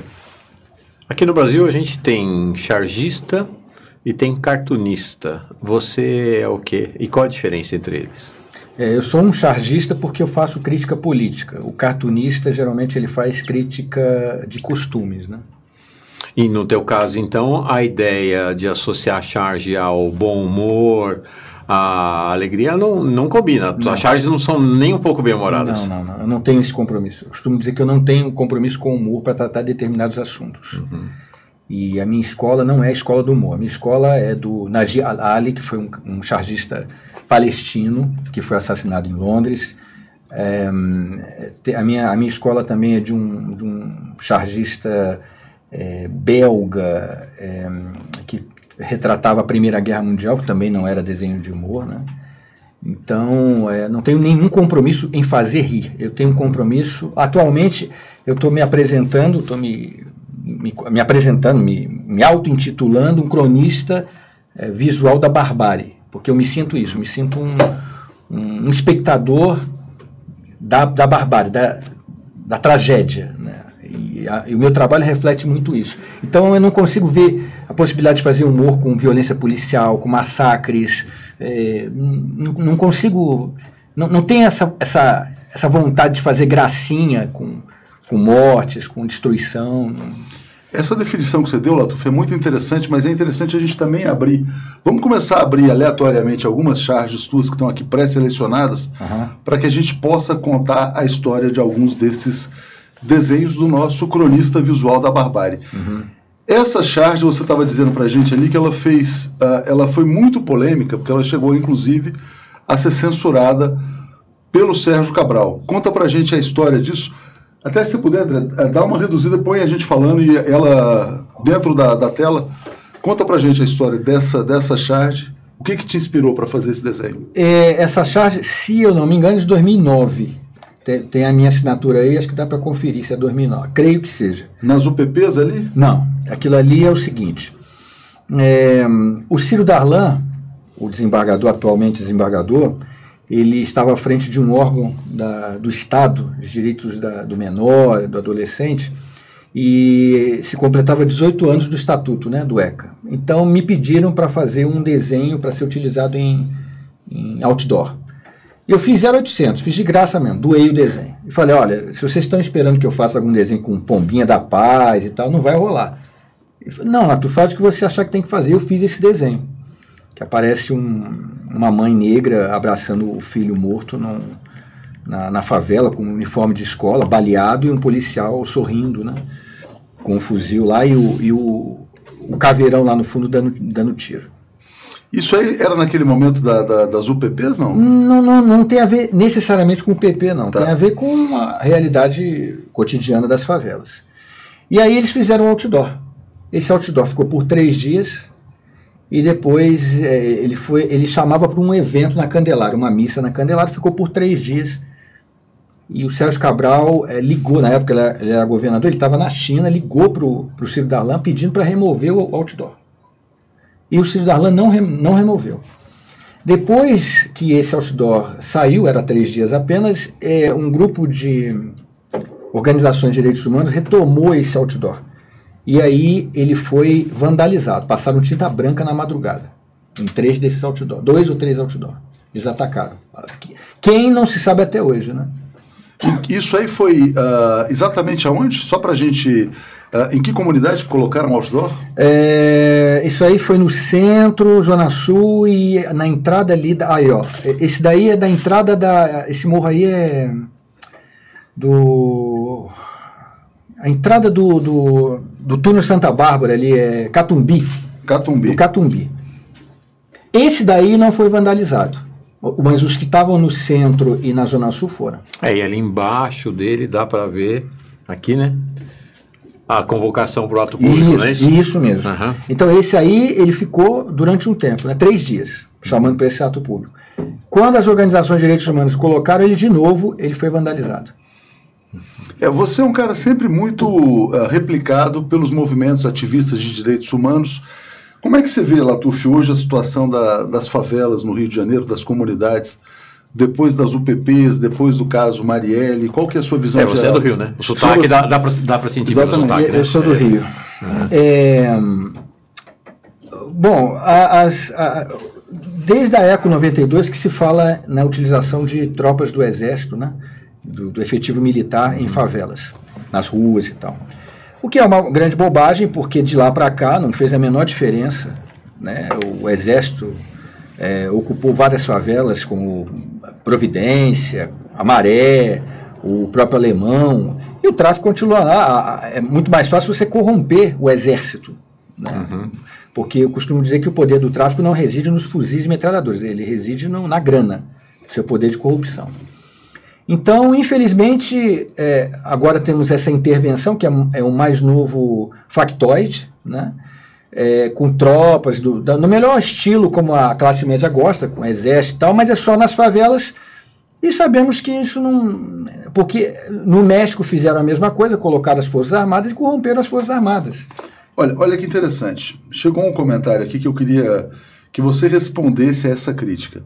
É, a pessoa coloca é, que nós, a esquerda em geral, criminalizam muito a polícia, mas não criminalizam os traficantes. Uhum, né? É. E aí é impressionante quando ele fala: ah, você coloca um policial rindo pela morte de uma criança. Uhum. Né? É, a gente já viu várias cenas, né? É, de policiais no Rio tendo que, vamos dizer assim, arrumar a cena do crime, por não da bandeira, aquela uhum. coisa toda. E muitas vezes são policiais que também são vítimas, porque também moram nas favelas e tal. É uma situação muito complexa, né? Uhum. Como é que você responde a esta crítica? Né? E eu vou te perguntar também a sua posição sobre a legalização das drogas. Como é que você vê esse debate? Bom, é, quem, quem eu, eu já acompanhei é, como fotógrafo é, operações da polícia, você vê que existe mesmo essa coisa de rir, né? De, essa charge, você segura essa charge que ela tem uma história também interessante. Essa, essa história aqui tem muito a ver com São Paulo e Sorocaba. Segura ela aí. Eu vou, vou responder essa pergunta. Então, é, é, o, o, policial ali está rindo porque, na verdade, aquela criança ela é criança para gente. Mas ela, ela é desumanizada, entendeu? Aliás, a classe média, quando vê que um, um menor foi baleado na favela, ele diz, é bandido. Então, é, Existe aí um corte de classe, racial, de gênero, que determina o sujeito rir. E, e, tem uma outra questão também que eu acho interessante: é o treinamento. O treinamento militar faz com que esse indivíduo veja, seja lá quem for que esteja na favela, como inimigo potencial, inclusive a criança. Né? É, o, Wagner Montes, que é um apresentador de TV, de programas policiais, que se tornou parlamentar no Rio de Janeiro, ele chamava menores infratores de sementinha do mal. Sementinha do mal. Sementinha do mal. Então, assim, não é nenhuma novidade que a pessoa possa é, rir diante do cadáver de uma criança baleada na, na, na, na favela. Até a classe média nas redes sociais diz, não, isso aí é bandido. Certamente se tomou tiro da polícia é porque é bandido. Então, quando eu fiz esse desenho, foi exatamente para suscitar essa, esse debate, para a pessoa refletir sobre isso. Agora, eu, eu, eu não tenho ilusões a respeito do tráfico e a polícia. Para mim não tem esse, esse maniqueísmo. O tráfico é bom, a polícia é ruim. Para mim, o tráfico e a polícia, ambos são opressores da população na favela. E ambos se misturam, se congregam. Exatamente porque a, a droga é ilegal. A droga é um bom negócio sendo ilegal, porque ela alimenta essa corrupção. Isso não é no Brasil, isso em qualquer parte do mundo, do planeta. Portanto, você já está quase respondendo a segunda pergunta que eu te coloquei. É a legalização, eu defendo a legalização. A chamada guerra contra as drogas, efetivamente, começada no regime Reagan, já está provado que não funciona. Ela funciona para alimentar essa máquina mortífera de corrupção, de, dessa concupiscência entre o tráfico e a polícia. É, e cada vez mais fica claro no Rio de Janeiro que quem controla o tráfego não é o traficante padrão ou idealizado pela classe média que fica em casa assistindo televisão, né? São as milícias. O próprio ministro da Justiça do Temer Exatamente. disse que quem controla o tráfico são os comandantes da PM. né? Exatamente. O, o ministro Jardim, ele chegou a dizer textualmente, ele disse e reafirmou de que os comandantes de batalhão no Rio de Janeiro são cúmplices do crime organizado. Então, se, se você está dizendo uma coisa dessa, no mínimo era para o governo do Rio de Janeiro cair, para a cúpula da segurança no Rio de Janeiro cair. Mas não, tá lá, porque inclusive é do mesmo, do mesmo partido do governo federal. Estão chegando perguntas aqui, Latuf, se você já recebeu ameaças em função do trabalho que você realiza, porque é um trabalho que faz uma crítica muito pesada. Da polícia, não. Da polícia, da, da polícia eu recebia mensagens e tal. Eu tive até policiais que, que, que mandavam mensagens para discutir de maneira inteligente, que eu achei muito interessante, aqui de São Paulo, do Rio, de Minas. Mas a ameaça da polícia, não. Agora, eu acho que se eu fizesse esse trabalho que eu fiz no passado, hoje no Rio de Janeiro, eu não receberia ameaça, eu receberia tiro. Como a Marielle, Sim, da milícia. da milícia. A Vamos- milícia é um fenômeno novo e que, assim, veio para ficar, né? Vamos voltar àquela segunda charge, Mauro, só porque Ah, ele, sim, ia sim. contar, ele ia falar Ah, é. Isso, isso. charge. É muito importante essa charge. Essa charge eu fiz para a Débora das Mães de Maio a respeito de uma comenda que a Rota ia receber da Assembleia Legislativa daqui de São Paulo. Então aparece um, um militar da Rota com uma, uma placa, né, um- uma, uma ordem, né, uma- um distintivo lá, por relevantes pre- serviços prestados. E um negro a- a- com as mãos para trás, baleado e tal. Bom, isso eu fiz em 2013. É, foi em 2016, 15, eu acho, não me lembro bem a data. Houve uma escola, é, uma escola em Sorocaba, é, a es- a escola. Esqueci o nome dessa escola. Escola pública.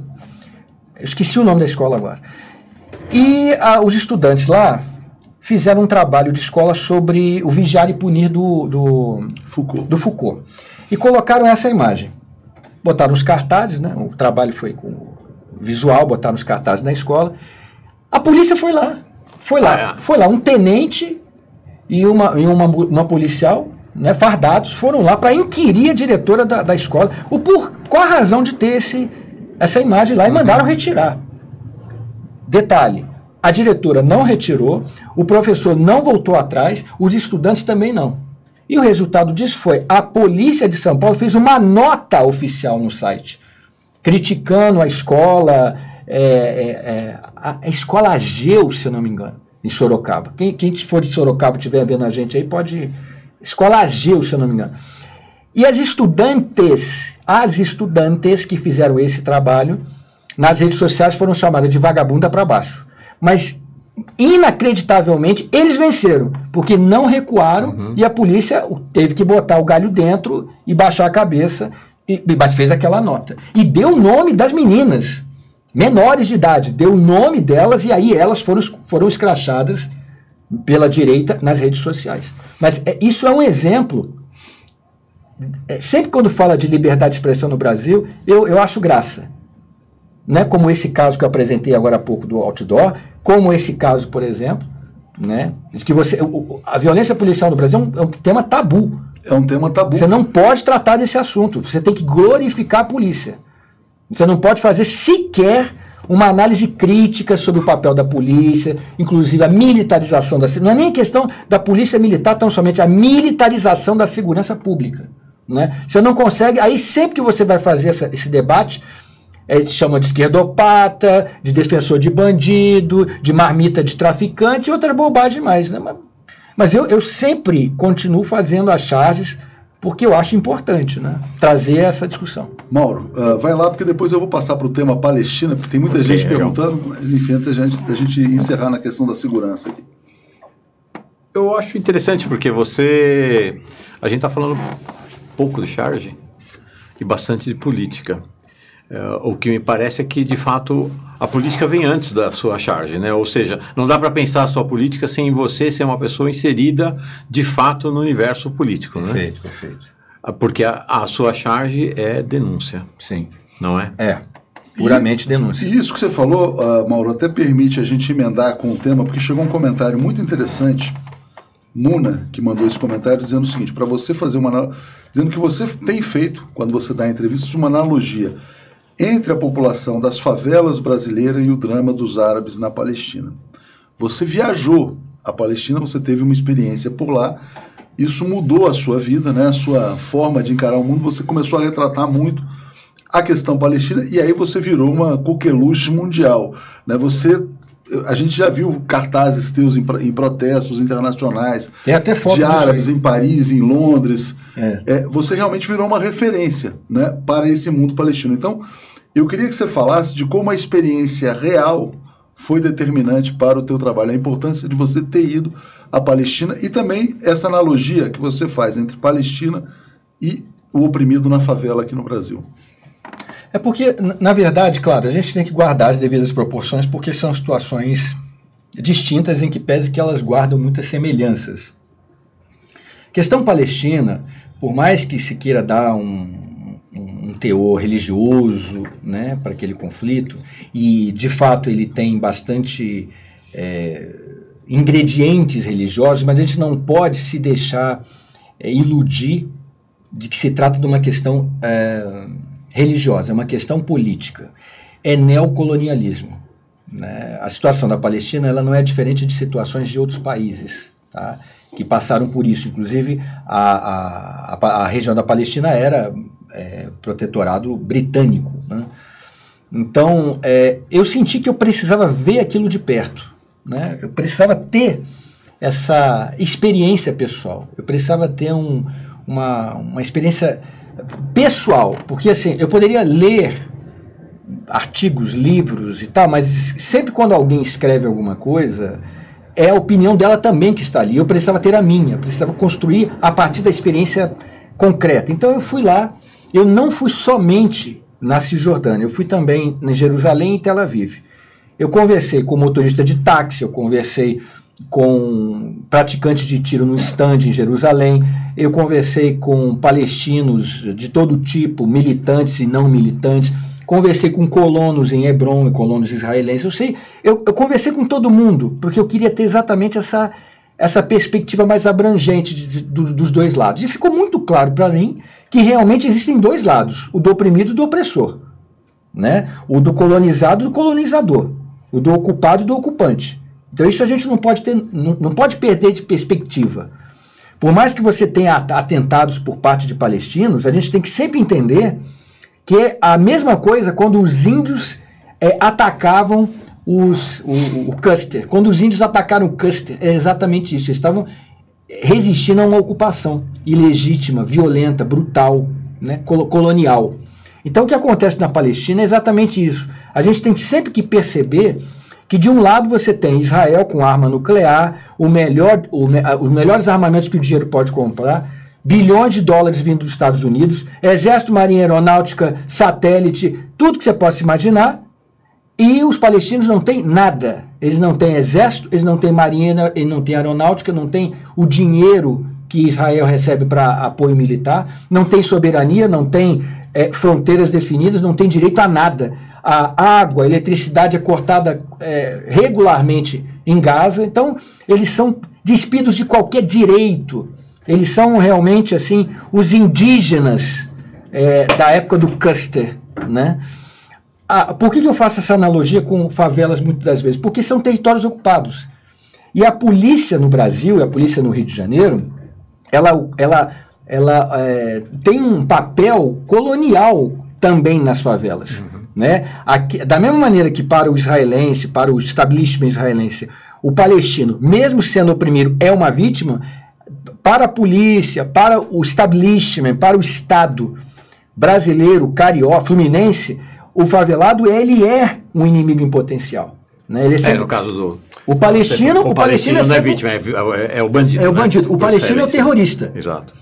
O favelado é o, é o, é o, bandido. É o, bandido, é o uhum. traficante. Uhum. Entendeu? Então na Palestina só tem terrorista, na favela só tem traficante. Então, é, é, exatamente esse tipo de construção, que é uma construção colonial muito semelhante. Por isso costumo fazer essa Quando analogia. a gente teve a imagem da intervenção, as pessoas tendo que mostrar a identidade, sendo fichadas no Rio de Janeiro, muita gente fez essa comparação, está dizendo, ó, tá parecendo Gaza, né? Quando o que o exército fez Ma mata mais nas comunidades do que em Gaza. Mata mais nas comunidades do Muito mais. Não, talvez até mais grave ainda do ponto de vista de imagem, e tem uma imagem famosa sua que provocou revolta na elite judaica, é que essas imagens de Gaza remetem, na verdade, às imagens do gueto de Varsóvia. O que os judeus estão fazendo em Israel, o que o governo israelense está fazendo em Israel, é o que os nazistas fizeram com os judeus nos guetos. Vamos abrir algumas imagens do Latuf, que aí vai ficar mais claro para a gente comentar sobre a questão da Palestina. Aquela que estava com o bebê era bem interessante ali para. Essa, é, imagem, essa imagem é famosa. Sim. Exatamente. E essa imagem, só para pontuar, fez com que você entrasse numa lista dos 10 maiores antissemitas, antissemitas do mundo. Do mundo na posição 3. Então, nós vamos te dar aqui a chance de esclarecer. Você é antissemita, Latuf? Não, não. É, a, então questão a questão palestina, não, eu já falei, não é uma questão é, em que, que pese que tem esses traços de religiosos, raciais, mas ele é uma questão política, eminentemente política. O problema é que quem defende as políticas do Estado de Israel, né, é, tenta maliciosamente, desonestamente, associar crítica ao Estado de Israel como ódio aos judeus. Como se Israel fosse, o Estado de Israel fosse representante de todos os judeus. E se utiliza dos mais variados argumentos. Por exemplo, se você faz uma charge com a bandeira de Israel e a bandeira de Israel tem a estrela de Davi, que é o símbolo do judaísmo, te acusam de ser antissemita por atacar um, um, um, um símbolo de culto dos judeus. Mas não fui eu que escolhi a estrela de Davi como símbolo do Estado, de uma entidade política. Da mesma maneira que o símbolo do Knesset, que é o parlamento é, judaico israelense, é o menorá, que é um candelabro judaico. Então isso, isso é praticamente parece até uma uma, dizer, o uma teologia. Judeu é que se apropriou dos símbolos religiosos. Exata, exatamente. Vamos apropri... voltar aquela imagem do bebê para você. Desculpa, desculpa, Latuf. Só é, pra... Eu só queria dizer o seguinte: é, se eu faço uma crítica, por exemplo, à Turquia e faço uma charge, qual é a bandeira da Turquia? É o símbolo do Islã, é o crescente com a estrela, né? Não me, não me acusam de ser anti-muçulmano. Uhum. Se eu critico o Erdogan que é o muçulmano, é o, é o primeiro-ministro, é, o, é o presidente da Turquia, e ele é muçulmano sunita, ninguém diz que eu sou anti-muçulmano ou islamofóbico. Aliás, você o critica com frequência. Mas com frequência, ele é um, ele é um canalha. E, eu, e da mesma forma que o, o primeiro-ministro de Israel é outro canalha. Só que quando eu critico Erdogan, tudo bem. Se eu critico o Netanyahu, como no caso dessa charge que me custou esse terceiro lugar, nessa lista cretina, infame, né, que eu, eu, eu refuto completamente, essa charge que aparece o primeiro-ministro torcendo é, o cadáver de uma criança palestina, de onde caem votos, porque os ataques de 2013 é, contra Gaza foram feitos às vésperas das eleições em Israel. Então, Me acusaram de ser antissemita. E aí eu te pergunto, por exemplo, a violência contra palestinos é uma demanda eleitoral? Existe é um mercado? Existe mas um mercado é claro, mas olha só. As pessoas endurecem porque isso dá voto? Veja bem, da mesma maneira que a, a, a manutenção do tráfico, né, a, a droga ilegal fomenta a corrupção, a ideia de se manter os palestinos nessa situação é, e marginalizá-los e criar esse clima de, de guerra constante, ele alimenta a máquina de guerra. Isso justifica os bilhões de dólares que os Estados Unidos mandam todo ano para Israel, com o argumento de que Israel está cercado de inimigos. Eu não sei quais são os tantos inimigos que tem ao redor de Israel. A Arábia Saudita é aliado. A Jordânia é aliado. Os países do Golfo são aliados. A Turquia é aliado. Qual é o, o país inimigo ali? Agora o Egito o é aliado. O Irã é que é a questão. Mas aí o Irã, Por que esse foco no Irã? Porque o Irã ele é xiita, ele é oposição à Arábia Saudita e ambos são é, potências regionais. Não tem absolutamente nada a ver com religião, tem a ver com geopolítica. Agora, quando você entrou nessa lista dos 10 maiores antissemitas, você teve alguma chance de se explicar? Alguém te chamou para debater? Ou você foi simplesmente rotulado como antissemita e pronto? Olha, eu... E você teve algum medo de retaliações? Não, não, não, medo não. Quando a gente resolve tocar nesses assuntos que são assuntos tabus, a gente tem que, é, tem que matar no peito, tem que assumir a, a, os riscos, né? Mas eu, te, eu tenho que fazer aqui uma, uma, uma lembrança muito importante, porque é, quando, quando fizeram essa, essa difamação contra mim, o Silvio Tendler, que é um, um, cineasta de origem judaica lá no Rio de Janeiro, ele, ele não só não concordou com isso, falou isso publicamente, ele fez uma carta aberta, né, é, refutando essa acusação de, de, antissemitismo contra mim, como ele fez uma carta, uma, uma, uma, uma um abaixo assinado, com diversas assinaturas, para ser entregue, inclusive, lá na Embaixada de Israel, contra esse tipo de, de, de, de campanha de difamação. Então, assim, é, o, o, não, não, existe assim os judeus, entendeu? Podemos dizer que os, os que têm mais destaque são esses judeus que apoiam o Estado de Israel. É os que têm mais voz, o que aparece mais, né? que são os judeus de direita. Mas existem aqueles judeus de esquerda, progressistas, eu mesmo conheci é, Gus Shalom, Peace Now, que são grupos que que promovem a, a, o diálogo entre palestinos, que, que discutem a, a, criação de dois estados a criação de um estado.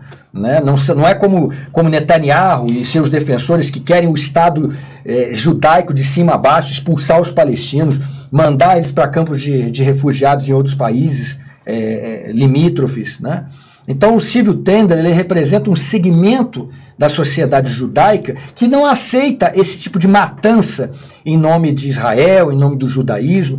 E esses judeus existem aqui, em minoria, infelizmente, no Brasil. Eles são minoria em todo lugar, mas em Israel eles existem. Eles são atacados em Israel pela direita. Chamam eles de capos, que eram os, os guardas de campo de concentração judeus, os prisioneiros que eram é, guardas em campos de concentração. É, você tem é, nos Estados Unidos também você tem organizações, tem no Canadá de, de judeus que não aceitam esse tipo de, de política. Você tem até judeus ortodoxos religiosos, como Netura e Carta, que refutam a ideia do Estado de Israel ser a terra prometida, etc. E tal. Então, é só para dizer que, infelizmente, o debate entre Palestina, da questão Palestina e Israel, ele tem sido desvirtuado né, para confundir a cabeça das pessoas e acharem que críticas ao Estado de Israel significa ódio aos judeus. Não significa, pelo menos, eu só posso falar por mim, não é o meu caso. Tem uma outra charge que apareceu aí, se puder colocar de novo, a daquele palestino vestido com uniforme do campo de concentração. Isso, isso. isso. Você ganhou um prêmio internacional. Exatamente, é exatamente. Pelo 2006. qual, pelo qual eu sou atacado até hoje. Uhum. Né? É, esse trabalho foi em 2004, se não me engano, né? Acho que foi 2004. É, é o pijama listrado dos campos de concentração. É, um palestino com pijama listrado dos campos de concentração e ao fundo a, a, o muro de separação. É, Esse, 2004. Você, você ganhou o segundo lugar no concurso... No concurso de charges sobre o holocausto no Irã. Bom, o, o que que acontece? Esse concurso de charges, ele foi uma resposta às charges de Maomé, né, lá na Dinamarca. Porque o, o, o Irã falou o seguinte, bom, se a liberdade de expressão falar sobre Maomé, esculhambar Maomé e tal, vamos fazer um, um concurso de chá sobre um tema tabu para o Ocidente, que é o Holocausto. E eu resolvi participar. Olha que interessante. Eu, eu resolvi participar, mas aí isso é uma coisa importante que se diga. Que bom que eu tenho essa oportunidade e esse vídeo fique registrado. Que, o, que os, os, os internautas guardem esse, esse vídeo.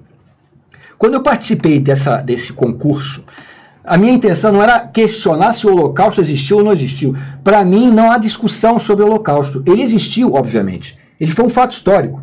Né? Ele tem características muito singulares, mas a história da humanidade ela é feita de barbaridades como essa, né? Como foi, por exemplo, a escravidão, como foi, por exemplo, a colonização, né? O que a Espanha fez na América Latina é ele varreu da face da terra povos inteiros Então, assim, a história da humanidade é a história dos genocídios, dos holocaustos. Então, para mim, não teria nenhuma dificuldade em afirmar categoricamente que os nazistas mataram os judeus em campos de concentração. Existem os, os é, aqueles que refutam isso, né? Os é, não é reforma, tem um nome. Negacionistas. Os negacionistas do Holocausto. Do Holocausto, né? Os negadores do Holocausto. Para mim não tem a menor dificuldade de, de, de entender e acreditar sobre os planos dos nazistas em relação aos judeus. Essa é uma questão.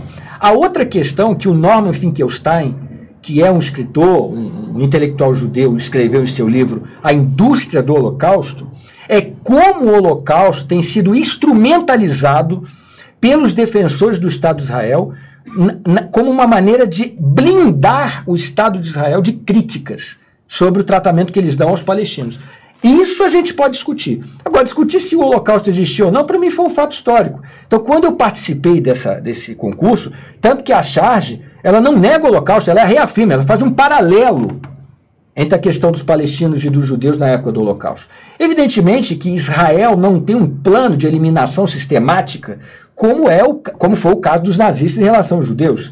Agora, claro que a charge também ela é um exagero, são é, metáforas exageradas. Agora, uma coisa eu posso afirmar com certeza: que existe uma limpeza étnica é, na Palestina, isso já tem desde 48. Né? Antes mesmo, aliás, da criação do Estado de Israel, com as milícias de origem judaica, Haganá, Irgun, é, é, é, Gang, que também eliminaram aldeias inteiras do mapa palestinas, exi o que o Netanyahu está fazendo hoje? Aliás, que é nome de uma empresa famosa de segurança aqui em São Paulo. Exatamente. É, o que o Netanyahu está fazendo com a construção de colônias judaicas em território palestino é exatamente isso: derrubar casas, residências palestinas para expulsar os palestinos. Isso é limpeza étnica. Então eu só queria deixar claro a minha questão em relação ao Holocausto. Né? Eu participei, teve gente nesse concurso que negou o Holocausto, mas isso é problema deles. A minha questão, eu não tenho questão em relação ao Holocausto. Deixa eu levantar, deixar isso bem claro. Vou levantar um ponto para você e o Mauro debaterem, porque o Mauro fez um artigo bastante interessante, bastante polêmico, não sei se você se lembra, recente, quando você falava que o Lula estava se transformando no novo judeu. Uhum. Ele estava sendo desumanizado, né? É, e isso começou, eu acho que há muito tempo, discurso de ódio, petralhas, aquelas coisas todas. Por quê? Porque o Matheus Ferreira pergunta: o ódio aos palestinos compara-se ao ódio aos petistas? Vou levantar essa questão para vocês dois. E o Juca Kfouri, que teve aqui semana passada, ele levantou uma questão interessante. Ele foi alvo de uma agressão, né, alguns anos atrás, e aí identificou, desceu, correu atrás dos agressores, identificou que eles eram judeus. Quando teve uma audiência de conciliação, ele falou: olha, vocês especialmente não poderiam fazer o que fizeram comigo, porque foi assim que começou o nazismo. Foi assim que começou o Holocausto, quer dizer, com essa negação, com essa desumanização de um determinado indivíduo. Sim. Mas passo para o Mauro e aí ele, ele te devolve a bola aqui. Sim, acho que a gente está assistindo isso agora aqui em São Paulo, na verdade no Brasil inteiro. Houve esse incêndio no centro de São Paulo, tem 44 pessoas desaparecidas e elas, para a grande mídia conservadora brasileira, não são 44 pessoas desaparecidas, são 44 sem teto desaparecidos. É? Você tirou-os do estatuto de pessoas e colocou-os no rótulo de moradores de rua, sem teto. Quase ou, bicho. Quase, quase bicho. bicho. Ou, como prefere o ex-prefeito de São Paulo, candidato a governador João Dória, de bandidos. Não é? Mais uma vez de bandidos. Então parece que esse é o processo que aconteceu com os judeus no, na época do nazismo, a, o roubo do direito de ser humano. É o que aconteceu com Lula aqui no Brasil. O Lula é um judeu sem direitos. O Lula não tem direito nenhum. Né? O Lula está preso em condições que nem os cachorros ficam presos. Né? Numa condição de solitária, numa condição de imposição de humilhações, né? como os regimes autoritários, como os regimes totalitários, fazem contra aqueles que são eleitos seus inimigos. E me parece que você tem uma escolha, né, Latufi, muito importante nessa dicotomia entre quem persegue e as vítimas, né? É, e o que eu tenho para te dizer sobre tudo isso é que é, é, foram as lições dos nazistas foram aprendidas muito bem por, por, por vários setores, entendeu? Por vários segmentos. Né? A gente vê práticas que essa prática de desumani, desumanização ela, ela, ela vem acontecendo também ao longo da história, acho que até antes mesmo do, do nazismo, poderia dizer isso. Uhum. A questão do, por exemplo, voltando à questão colonial e da, e da, da escravidão, né, teve uma encíclica do Papa que dizia que o, o é, os escravos não tinham alma. Não é isso? Os escravos não tinham alma. Então, vocês não Ou seja, tinham... ele podia ser reduzido à condição subhumana. Ele poderia ser, exatamente. Ele poderia ser. Poderia se fazer qualquer. É, uma coisa. É uma coisa. Poderia se reduzir, destruir, fazer o que é, matar. A escravidão é a transformação de alguém em coisa. Em coisa, exatamente. Ah. É, a, a colonização também é parte desse princípio. O indígena é uma coisa que pode ser eliminada. Né? Ela tá, é, é, o indígena e o búfalo foram tratados do mesmo jeito lá na, na, na colonização americana. E voltam a ser tratados agora pelos ruralistas que mandam nesse país de novo. Né? Exatamente. Então, eu diria que assim, o, os nazistas, na verdade, refinaram coisas que já existiam. Uhum. Né? É, é, sistematizaram coisas que já existiam. É um, é um ódio instrumentalizado, sistemático. Né? O, foi lembrado o extermínio do o genocídio armênio, tem tem pouco tempo agora que foi lembrado, né? Então, assim, ao longo da história, Hutus e Tutsis. E que a Turquia né? se nega a reconhecer, né? Que a Turquia se nega a reconhecer. Então, é, não, não me surpreende esse tipo de procedimento de desumanizar o outro, né, o inimigo, é, é muito perigoso. E aí leva a coisas como atirar em caravanas, atirar em acampamentos, entendeu? Porque esse é o outro, entendeu? Então não, não sou eu. Estamos do lado dos vencedores, então os outros são os perdedores e a gente pode matar. O Rogério Matuque está dizendo: leiam o livro A Limpeza Étnica da Palestina de Ilan Pape, historiador israelense. Conheci, conheci, ele, conheci ele ano passado. Olha que interessante. Encontrei com ele aqui em São Paulo. É um sujeito também de origem judaica, né, e domina muito bem o assunto, é um acadêmico.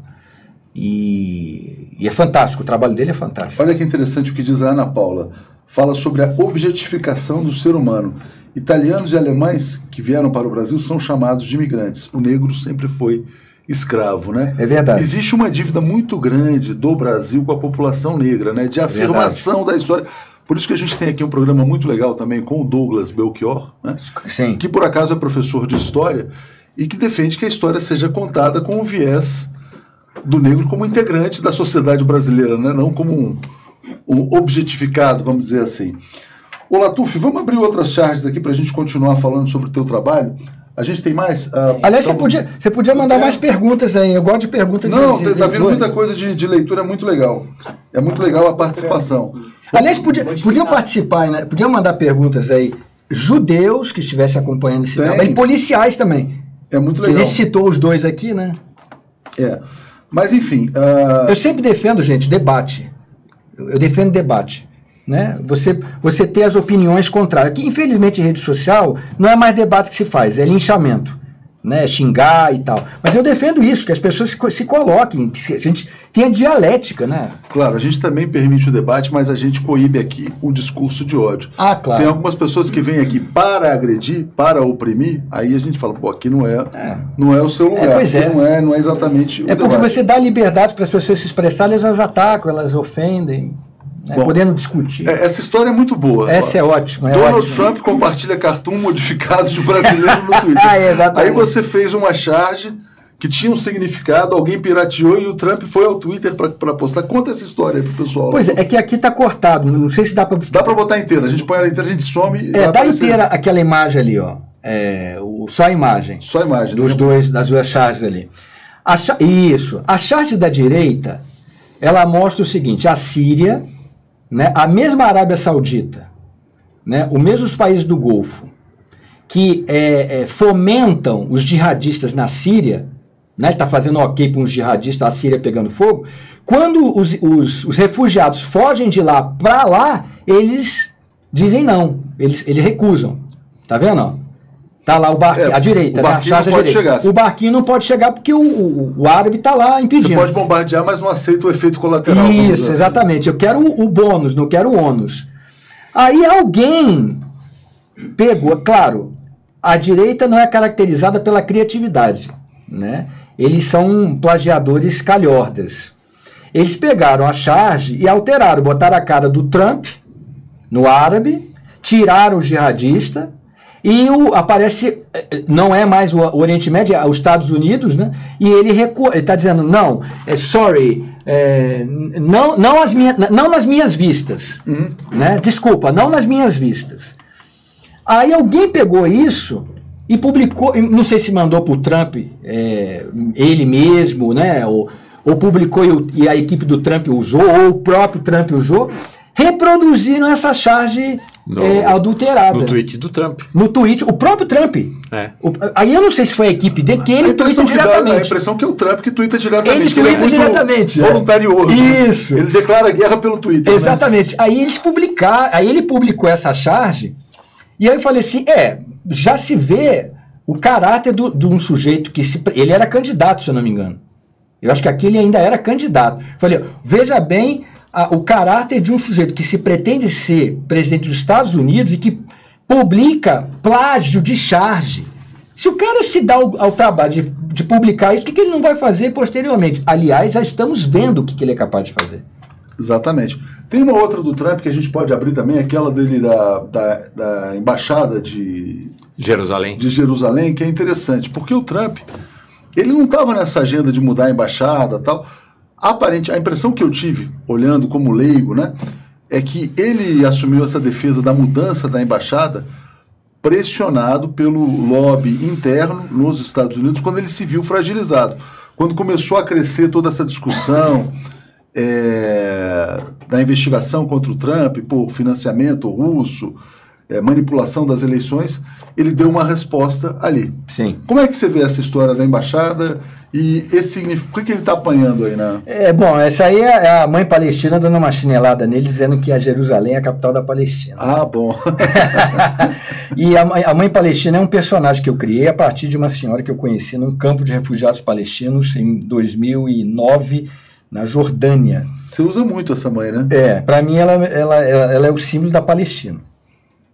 O Trump, na verdade, ele está, na verdade, ele está cumprindo promessas que ele fez, né? Ele fez promessas ah, ao lobby eh, pró-Israel, que é muito poderoso, né? Que é representado nos Estados Unidos por uma organização chamada AIPAC, né? American Israel é, é uma, uma, uma organização de interesse lá, de lobby, né? É, os PAC são os, os comitês de lobby lá. É, o AIPAC. Então, o sujeito que não puxar o saco do AIPAC não se, rele, não se elege nem para síndico. Mas ele foi bem mais além, não só puxou o saco, porque lá o republicano e o, e o democrata, ambos puxam o, saco do, do, do lobby pró-Israel, porque ele sabe que garante voto. Mas ele fez promessas, entendeu? Ele fez promessas que agora está cumprindo, né? Ele é considerado... Assim como o Obama, veja bem, como que o Israel é ingrata. O Obama mandou dinheiro para eles, entendeu? Mandou Agora, dinheiro, pra quem fala arma. que você é antissemita, você bate na Arábia Saudita, você bate na Turquia, você bate em Israel, você bate. Pois é, sempre, sempre que você acha um opressor, você dá porrada. É mais ou menos assim. Mas olha só, cara, é, é porque assim, é por, é por isso que eu sempre falo para as pessoas não se enganar com esse discurso religioso, porque o Erdogan, que é um muçulmano sunita, ele é aliado de Israel. Né? É, existe um, um acordo comercial entre Turquia e Israel do gás. Né? A, Arábia Saudita está se aproximando cada vez mais da, da- da- de Israel para contra-atacar, para atacar o, o Irã, por conta da área de influência que eles têm ali no Oriente Médio, no Iêmen, na Síria. Então, é, não é uma questão religiosa, não é uma questão étnica, é uma questão política, geopolítica. Israel, que no passado dizia é, somos a única democracia do Oriente Médio cercada de inimigos árabes, faz negócios e acordos militares com esses inimigos. É o caso do Egito. O Egito, junto com Israel, trabalham para oprimir, para cercar, bloquear o, o Gaza. Gaza não, Gaza não está naquela situação só por Israel, mas pelo Egito também. Israel não é o único problema do mundo árabe, do, do- da, da, da- da região do Oriente Médio, não. A Arábia Saudita é. A Arábia Saudita está bombardeando o Iêmen, que já é um país pobre, um país miserável, está tá devolvendo os caras à Idade Média. Então, assim, o problema, na verdade, que. Veja bem, acontecem essas coisas todas, e a Liga Árabe, ao invés de condenar Israel, condena o Irã. condena o Hezbollah. Então, não, a, a gente precisa ver para além dessa fumaça, essa, essa cortina de fumaça que tentam criar para a gente, que impede a gente de ver que são questões geopolíticas, negócios, né, que determinam a ação dos países. Não existe essa de vamos invadir um país para democratizá-lo. Não existe isso. Questão da Síria, por exemplo, é, é, existe até partido de esquerda no Brasil que diz que o que acontece na Síria é uma revolução popular contra um ditador. Então eu costumo dizer o seguinte: a, o que aconteceu na Síria foi fruto do da chamada Primavera Árabe. Foi um dos países da Primavera Aliás, Árabe. eu ia te perguntar exatamente qual que é a sua leitura sobre a Primavera Árabe e se você vê paralelos entre as, a Primavera Árabe e as tais jornadas de junho aqui no Brasil. Pois, a, a, a, a, a Primavera Árabe foram levantes populares em países árabes, com ditaduras, né? que eu acho legítimo. Né? O povo daquele país se levantar contra uma ditadura, eu acho legítimo. Só que não se pode pensar. Um, é, uma agulha no, não cai no, no, no, Oriente Médio sem que tenha uma, uma vontade dos americanos, da Europa, da Rússia. Aquilo é área de influência, principalmente do Ocidente. Principalmente, por causa do petróleo, obviamente. Então, quando aconteceram aqueles levantes, o estabelecimento internacional se apropriou disso. Ele encontrou uma oportunidade para isso. Foi o caso da Líbia. A Líbia, ela foi invadida, ela, a soberania dela foi quebrada pela OTAN, os países ocidentais, sob o argumento de que eh, havia uma ditadura, foi destruído. Hoje a Líbia está completamente destroçada, mas os, os negócios do petróleo vão bem, obrigado, estão na mão do Ocidente. Transformaram Gaddafi num demônio. Num demônio, e tiraram o liquidaram petróleo. o país, arrasaram, arrasaram. Arrasaram a Líbia voltou para a Idade Média. A Líbia hoje ela está entregue às tais milícias jihadistas, entendeu? Que co- controlam duas capitais. É é isso, está completamente. Agora, os negócios do petróleo que estavam na mão do Gaddafi passaram para a mão do Ocidente. Era isso que se queria. O caso da Síria é exatamente a mesma coisa. Porque, por exemplo, no Bahrein, que é aliado americano, a Primavera Árabe foi esmagada, seus líderes foram presos, assassinados, tudo certo. Os Estados Unidos não mandaram tropa lá para democratizar a- o Bahrein, que é uma ditadura. E nunca se referem à Arábia Saudita também. A Arábia Saudita nem se fala. A Arábia Lógico. Saudita nem sequer teve esboço de, de, de Primavera Árabe. O que aconteceu no Egito, a mesma coisa. O do Egito eu acompanhei para e passo. Para e passo. Do Egito foi o seguinte: derrubaram o, o- o- o Mubarak e se pensava que realmente iria ter uma, uma mudança significativa. Mas não se pode esquecer isso. O Egito sempre foi aliado dos americanos. Ali é uma região estratégica, próxima a Israel, fronteira com Israel. Né? Tem o canal do Suez, já se fez guerra ali naquela região. Então, é, não passou desapercebido. Houve uma eleição, elegeram o candidato da Irmandade Muçulmana, que se não era o melhor candidato, por ser um religioso, foi uma escolha do Popular, voto legítima. popular legítima. Foi derrubado por um militar pró-Estados Unidos e voltou tudo a como era. Fez uma guinada de 360 graus. Aliás, voltou tem gente a que compara a situação do ex-presidente egípcio preso à do Lula.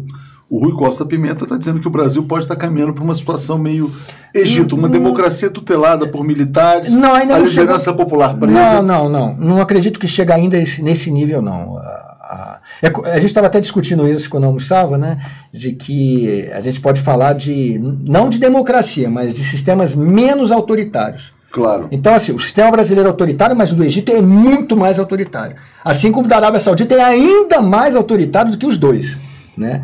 Então, a questão da Síria, só para voltar à questão da, da Primavera Árabe, a questão da Síria é: houve manifestações contra o regime, que é um regime ditatorial, como todos, da América, do- todos na, na, na- no Oriente Médio, porque interessa ao establishment internacional que hajam é, é, ditaduras pró-americanas.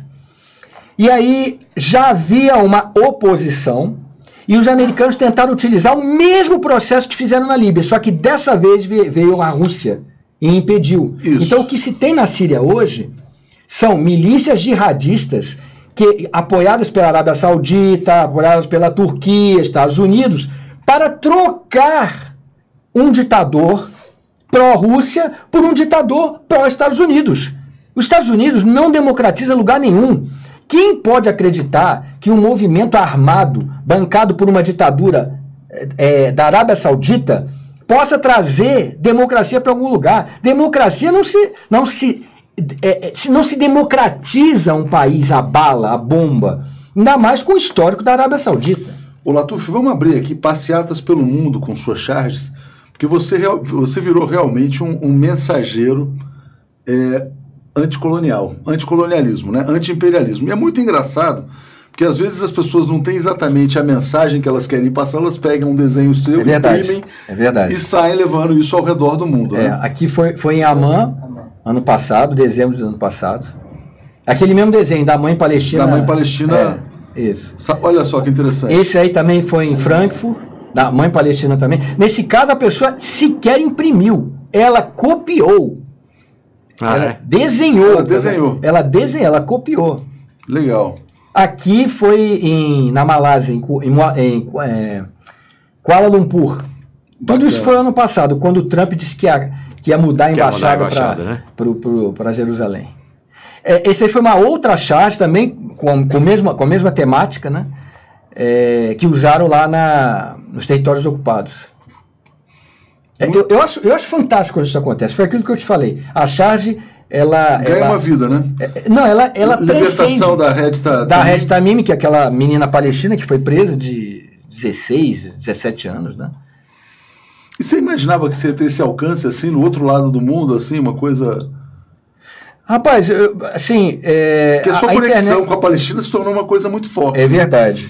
Mas eu te digo que se não fosse a internet, não teria acontecido isso, não. Uhum. Porque se eu fosse depender do mainstream media, principalmente brasileiro, para isso, não conseguiria. Você quer falar, os jornais das famílias não publicam você? Não, não, não, não tem, não tem. Eu acho assim. Onde que você eu é publicado, além do Brasil 247, Latuf? Vamos dizer assim, o, o Sul 21, Sul 21. que é lá, do, lá de Porto Alegre.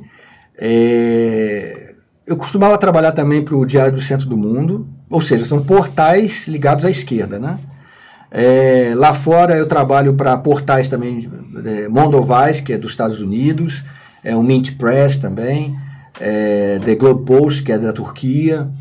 É, eu- é, sabe aquela coisa de que o, é, o santo de casa não faz milagre? eu, eu, eu, assim, infelizmente aqui no Brasil, eu fico num nicho, né? Porque é isso. Se você é um sujeito de e o chargista é opinativo, se você, eu já não vou entrar nem na discussão se é de esquerda ou de direita, mas se nas tuas charges existem bandeiras afeitas à esquerda, você está tá banido da, da grande imprensa aqui. Nem lá fora, nem nos Estados Unidos, que é aquela imprensa que você já conhece, eu já tive charge publicada no Washington Post. O Washington Post já deu charge minha. O The Guardian já, já deu também. Aqui raramente isso acontece. Exatamente por conta dessa. Infelizmente, porque é, eu acho que se a, se a imprensa se, se pretende ser plural, ela tem que dar as, as versões. Ela tem que. Agora, o- que se percebe é que, no Brasil principalmente, o chargista, o cartunista que vai trabalhar no jornal, é aquele sujeito comprometido com a gracinha. Entendeu?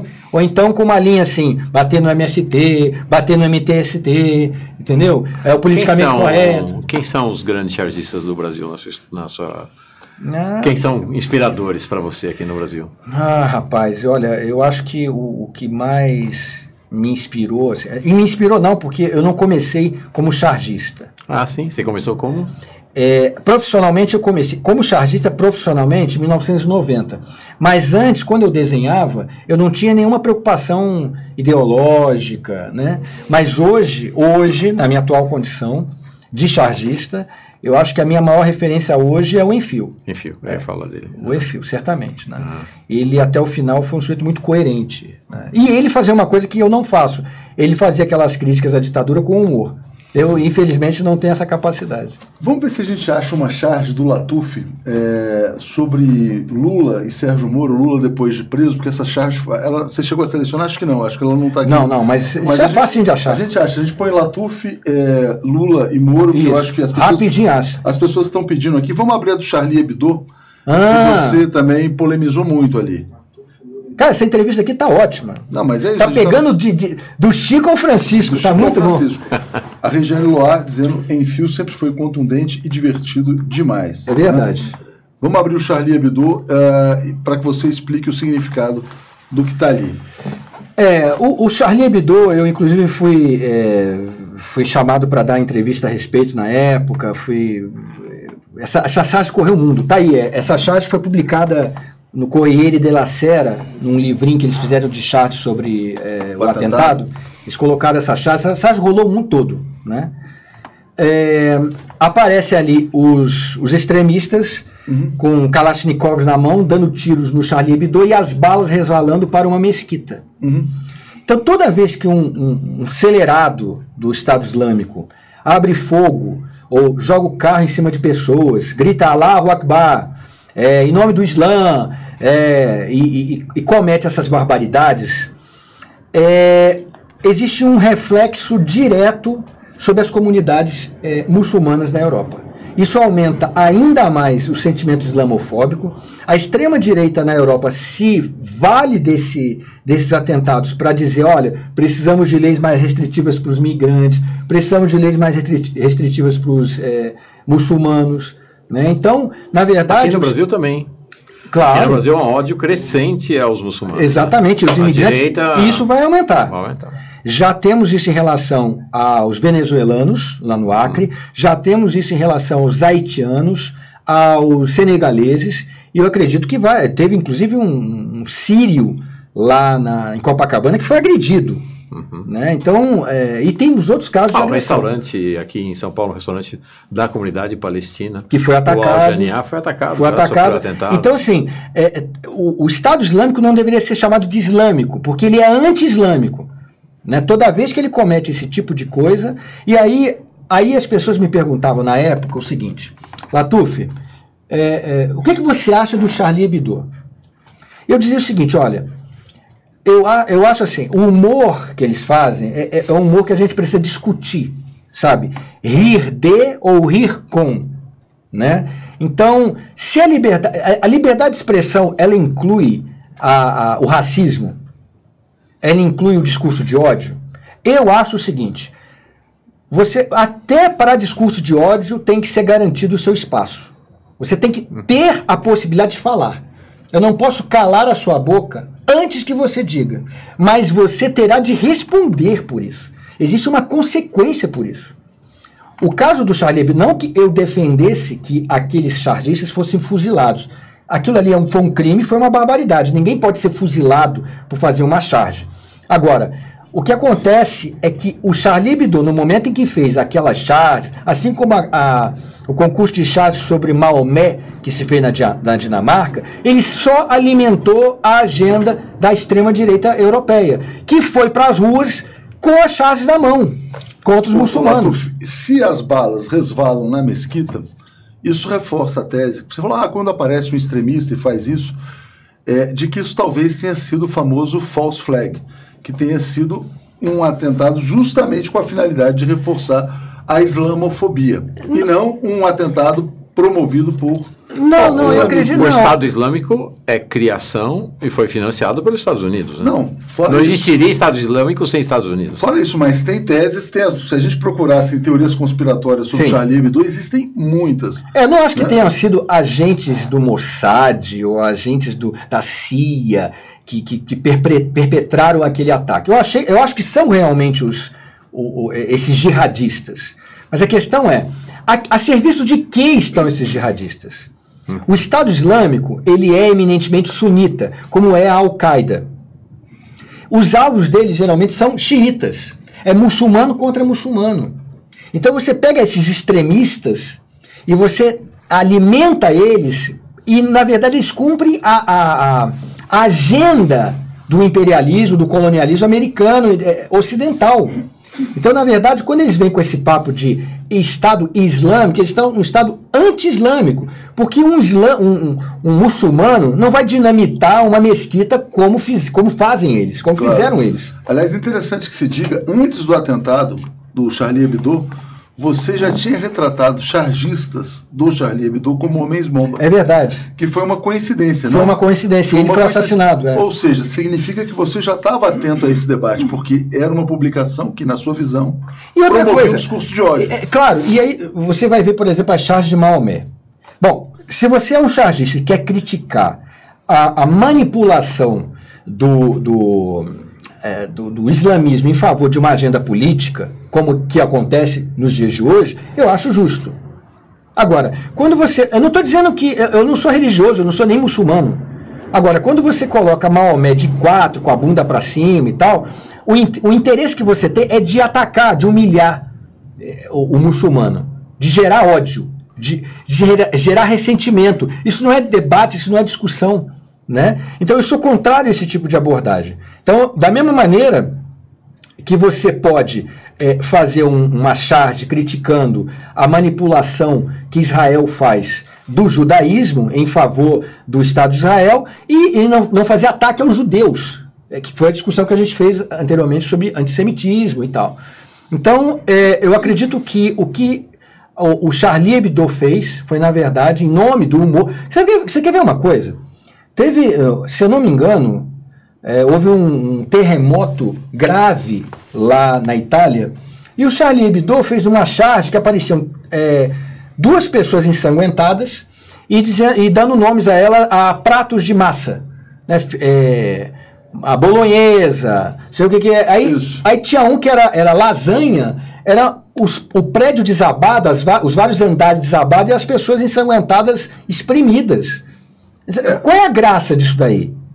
É, é essa a questão. É pra quê? Pra agredir, pra ofender? Não, se eu não me engano, chegou a, eles chegaram a fazer uma charge com aquela foto notória do bebê Sírio também. É, é isso. É- agora, é Tentando curioso. fazer graça, né? E não denunciar, que é o contrário. Exatamente. É curioso porque um dos chargistas, o Cine, que faleceu, se eu não me engano, no ano passado, é, ele fez uma, um comentário, não sei se uma charge, um comentário, é, atribuindo, fez alguma, alguma piada é, sobre o Sarkozy, é, a mulher ter sido judia, ou casou porque era judeu. Mas olha que interessante. Aí, quando ele fez isso, o Charlie Hebdo, a, dire, a, a, edi- o dire- a direção do Charlie Hebdo mandou ele pedir desculpas, ele não pediu desculpas e ele foi demitido.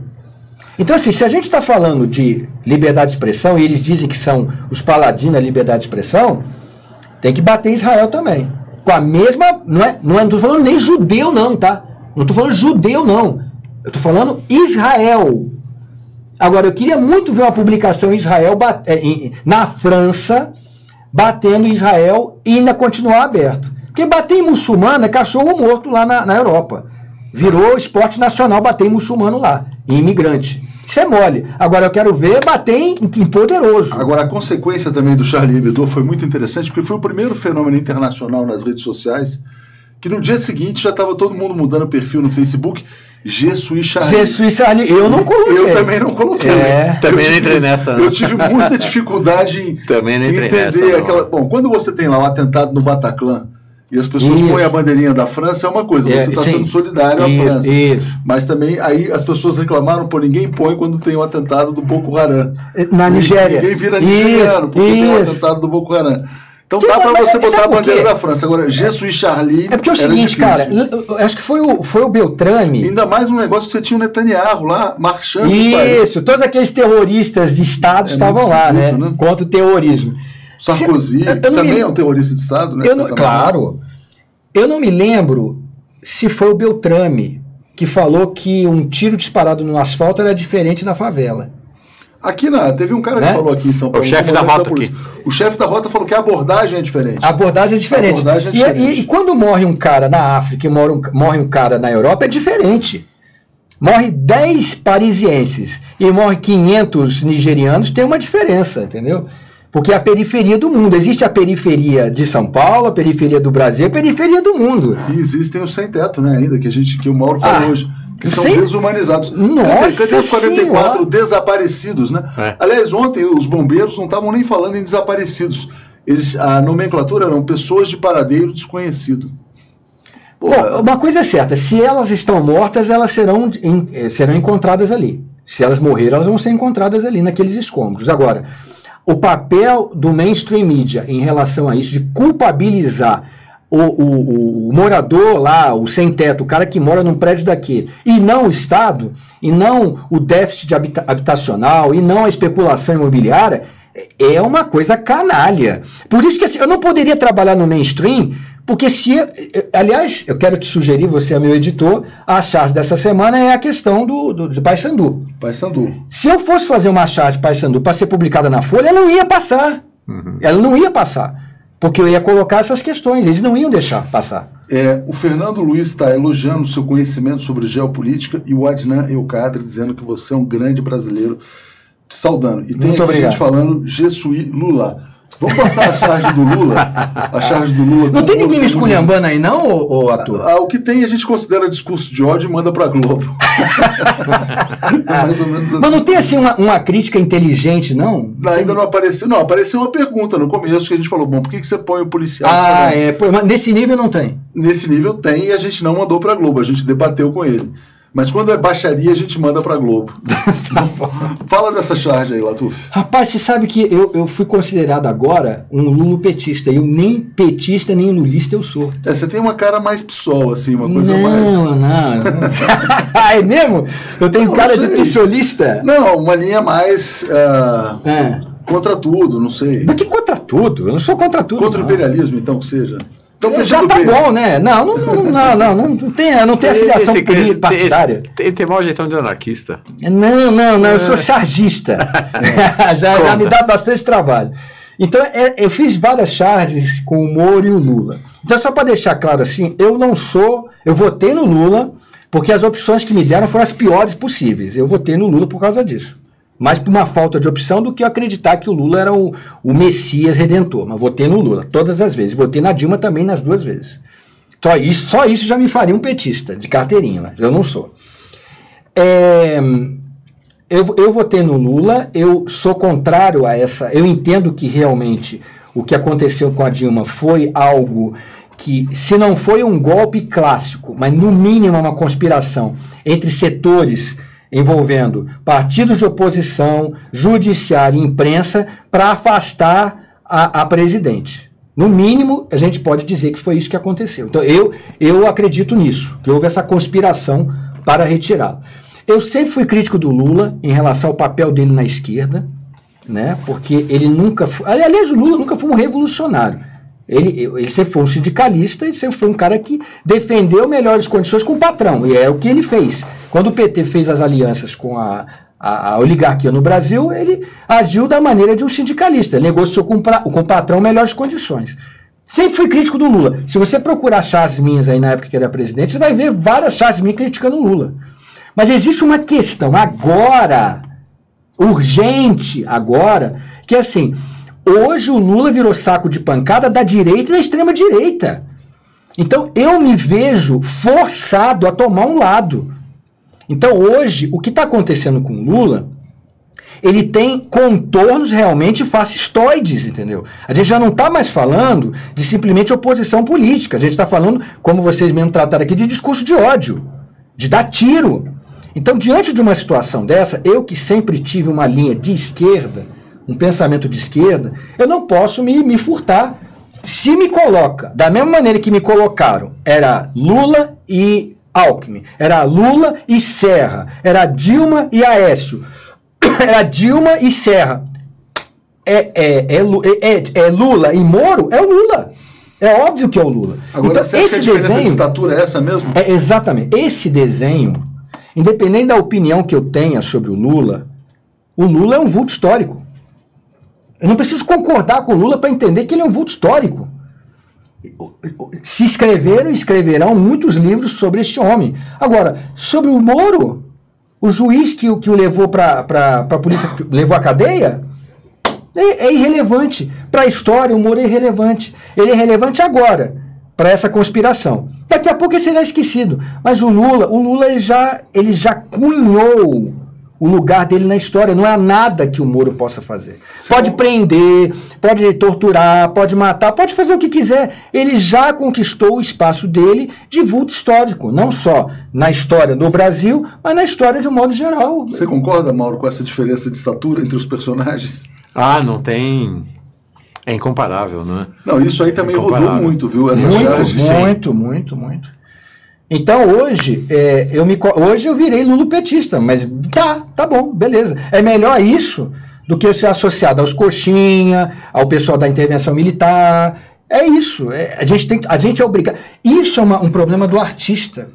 O artista ele tem um problema sério. Ele se acha, geralmente, acima do bem e do mal, porque ele é artista. Então ele diz assim: eu não sou direita e não sou esquerda. Eu não sou Lula e não sou Moro. Não existe isso. Não existe isenção para nada nessa vida, inclusive nem para a imprensa. Você tem que confessar o lado. E muitas das vezes o artista, quando ele tem consciência política, né, é, ele vai ter que, ele vai ser confrontado com o momento em que ele vai ter que fazer uma escolha. Eu não posso ficar no- no- em cima do muro. Com a história que eu tenho, que eu construí ao longo desses 28 anos de carreira, não posso me dar o luxo de lavar as mãos e dizer assim: bom, eu não tenho nada a ver com isso, não sou direita e esquerda. Sabe qual que é a coisa que mais me incomoda no debate político hoje? Quando algumas pessoas dizem que o Brasil está vivendo um fla-flu. Que existe uma polarização política onde você tem lá pessoas extremistas, tal, precisamos de um centro. Não, não é fla-flu, existe golpe e democracia. É outra coisa. Existe o lado correto e o lado errado. Existe o lado da violência e da opressão e o lado da soberania popular. Fla-flu é outra coisa. Fla-flu entra os dois times em campo, tem um juiz neutro. É, eu se- acho, o- o- a gente estava conversando isso também na hora do almoço.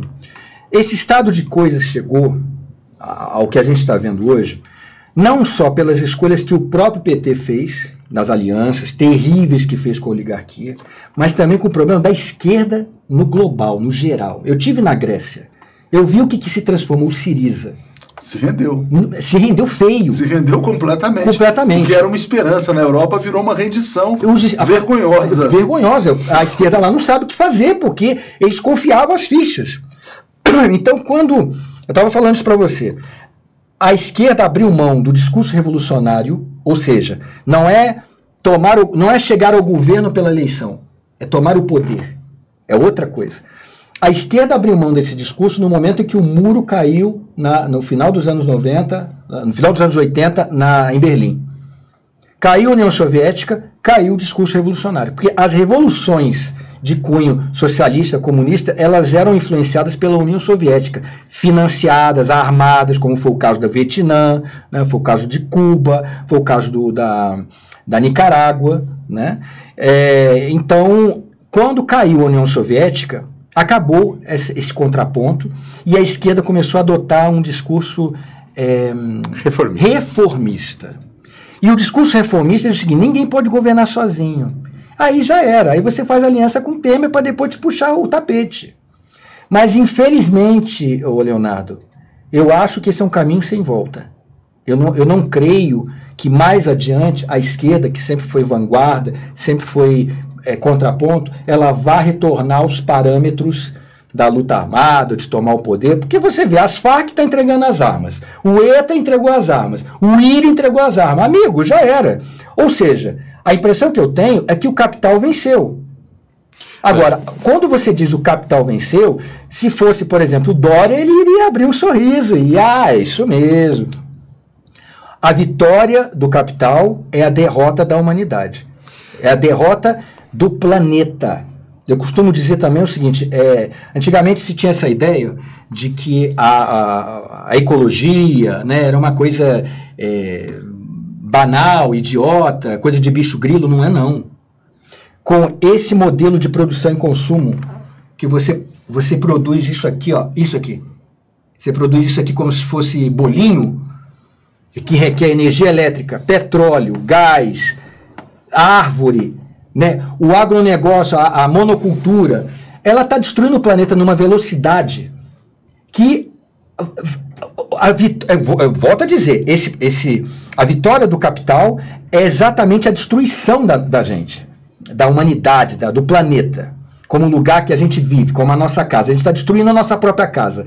E o interessante dizer é o seguinte: muito se, se comemorou o Tesla, o dono do, do, do carro Tesla, fabricante do, do, do automóvel Tesla, tirou do próprio bolso dinheiro para financiar a corrida espacial para Marte. Aí você vai perguntar, por que, que ele está fazendo isso? Porque ele é um benfeitor, ele é um benemérito da ciência? Não.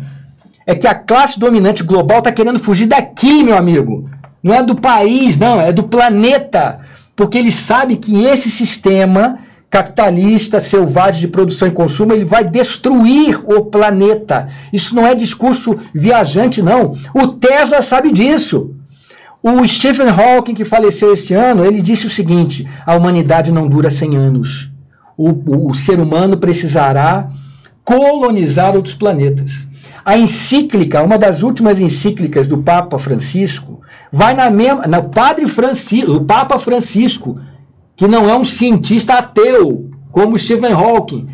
Ele dizia o seguinte: que se a humanidade continuar. É, é, é a encíclica é devotada à ecologia. Então, a vitória do capital. O capital venceu. Perfeito. Até a esquerda agora, com esse discurso é, é, reformista, entende o seguinte: bom, não podemos tomar o poder, vamos tentar gerir o capitalismo de uma maneira mais suave. Isso não existe, é que nem a sustentabilidade, é estupro com amor. Isso não existe. Isso não existe. Então o que acontece é, até o Papa e o Stephen Hawking, que estão em, em, em oposições, em posições opostas, já sabem que estamos condenados. E que, é, bom, claro, aí você vai dizer assim, não, Latouf, que a gente vai dar um tiro na cabeça? Não. As transformações do ponto de vista local, elas são possíveis. As pequenas revoluções, elas são possíveis. Né? Por exemplo, quando você ocupa um prédio abandonado e ali a pessoa que nunca tinha, tá, sempre dormia na rua, ela tem um teto, um chuveiro, é uma revolução para aquela pessoa. Agora, isso não significa que você vai conseguir acabar com essa ofensiva da gentrificação que está acontecendo em São Paulo, está acontecendo na Europa, está acontecendo em tudo quanto é lugar. Você aceita a sugestão de charge? Encomenda? Aceito. Eu te passo, depois, tal? eu te passo a tabelinha depois. que tal uma dessa das elites fugindo do planeta, hein? É porque é que essa tem mais a ver com uma caricatura, uma um cartoon. Um cartoon. Entendeu? Uhum, uhum. Mas é isso, as elites elas estão querendo fugir. Tem um filme que eu, que eu indico para você, indico para você, Leonardo, para os internautas, que é Elysium, que tem o Matt Damon. O Elysium é o seguinte: a, a, essa classe dominante ela não conseguiu desenvolver uma, uma tecnologia capaz de levar lá a Marte ou outros planetas, mas criou uma estação espacial de ricos que fica orbitando ao redor da Terra. E a Terra está na merda. Mas eles precisam da Terra ainda.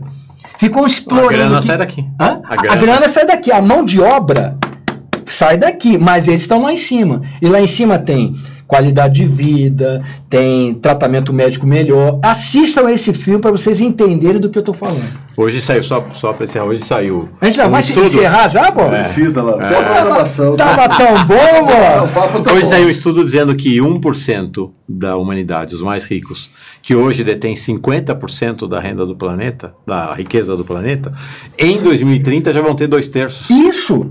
Não vai, não vai sobrar para ninguém. Não vai sobrar para ninguém. Isso é um avanço. É só para eles. Rapaz, a gente está caminhando pro Mad Max. É. E vou lhe dizer uma coisa: quando o petróleo acabar, aí sim. Uhum. Aí vai ser uma alegria. Bom, o Brasil tinha petróleo e resolveu doar através isso, do Temer. Isso. A, a, aos patrocinadores do golpe. Isso é uma coisa interessante também. Isso é uma coisa muito interessante, né? Que é fato também. O Brasil é, isso, isso é mérito do governo Lula. Isso, isso, é essa questão. Eu não sou um crítico idiota é, é, fechado. O Brasil, na era Lula, a, a, a, a diplomacia era azeitada. Você se lembra da famosa cena entre Erdogan, Lula e o então presidente do Irã, Mahmoud Ahmadinejad, em relação a enriquecimento de urânio? O Brasil estava lá mediando isso. Na época, o presidente da Rússia não era o Putin, era o Medvedev. Medvedev. Medvedev. Medvedev. Ele riu. É claro que ele riu. Ele falou assim: peraí, mas, mas o que, que o Brasil está fazendo aqui? Ele era periférico. Aí você fala de BRICS. Então, assim, por mais que o governo do Lula não fosse um governo revolucionário, ele conseguiu isso. Ele conseguiu colocar o Brasil num patamar melhor diante dos outros países, a ponto do, do Medvedev dar, dar de ombros, assim, mas estava lá. mas ele mediou. Aquilo não passou desapercebido. Hoje, a gente volta ao patamar Fernando Henrique. Ficar sempre a, o, aquela foto do, do Fernando Henrique Do Clinton. Clinton. É, a Dando gente um voltou. nas costas, assim, isso, né? isso. Agora já É não tipo é. assim, dando um tapa no cachorrinho. né? Isso, agora já não é mais nem ele por cima, assim, não. É o cara em cima mesmo, com os dois pés em cima, assim. Né? Que nem um E, logo, carpete. e logo com o Trump, né? É, é o Trump e o Temer. Então faz essa charge. O, o Temer carpete do Trump. Encomendado, hein? É, pois é. Encomendado. Cê- ah, tá encomendado? Tá, tá encomendado. Então tá certo. E, e a gente volta a ser a republiqueta de bananas, es- é, exportadora de, de matéria-prima. É, infelizmente, o, o- Leonardo, o problema do Brasil não será resolvido enquanto ele continuar sendo uma oligarquia. Enquanto a política for ficar nas mãos de famílias, a imprensa ficar na mão de famílias, a política ser tratada como na época das, das Seis Marias, né? É, a, gente, a gente não vai ter democracia. Democracia na oligarquia não existe. É ficção. Gente, revejam a entrevista com Latuf, compartilhem, convidem seus amigos. Infelizmente precisamos encerrar. Ah, não. Vamos ficar mais uma horinha aí. A Vânia fala, Latuf, você é a nossa voz. Eu deixo você participar do programa Léo ao Quadrado, que fica Léo ao Quadrado com Latuf. Mas é- Se é você que- topar, Eu topo, mas a é que gente vai tô... começar daqui a pouco. né? Ah, é? a, gente tem que, a gente tem que parar um, recomeçar o outro. O Estopa já está aqui. Aliás, o Estopa vai adorar esse papo com você. E aí é o seguinte: é, esses programas, evidentemente, toda a expansão da TV 247 se deve aos assinantes solidários, a quem está se inscrevendo no canal. O Latuf gravou um vídeo lá atrás em apoio né, à nossa campanha. Verdade. Muito obrigado, Latuf. Muito obrigado, Mauro. Obrigado a todo o nosso Valeu, público. obrigado, obrigado. E daqui a pouco a gente tem Valeu, Leonardo Estopa com Léo ao quadrado e depois Geopolítica sobre a direita no Paraguai. com o Igor Fuser.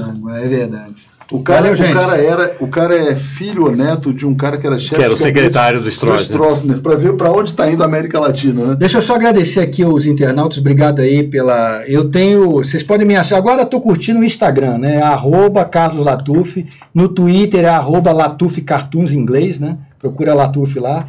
Obrigado aí pela audiência, um abraço. Valeu, Valeu. gente. Obrigado. Valeu.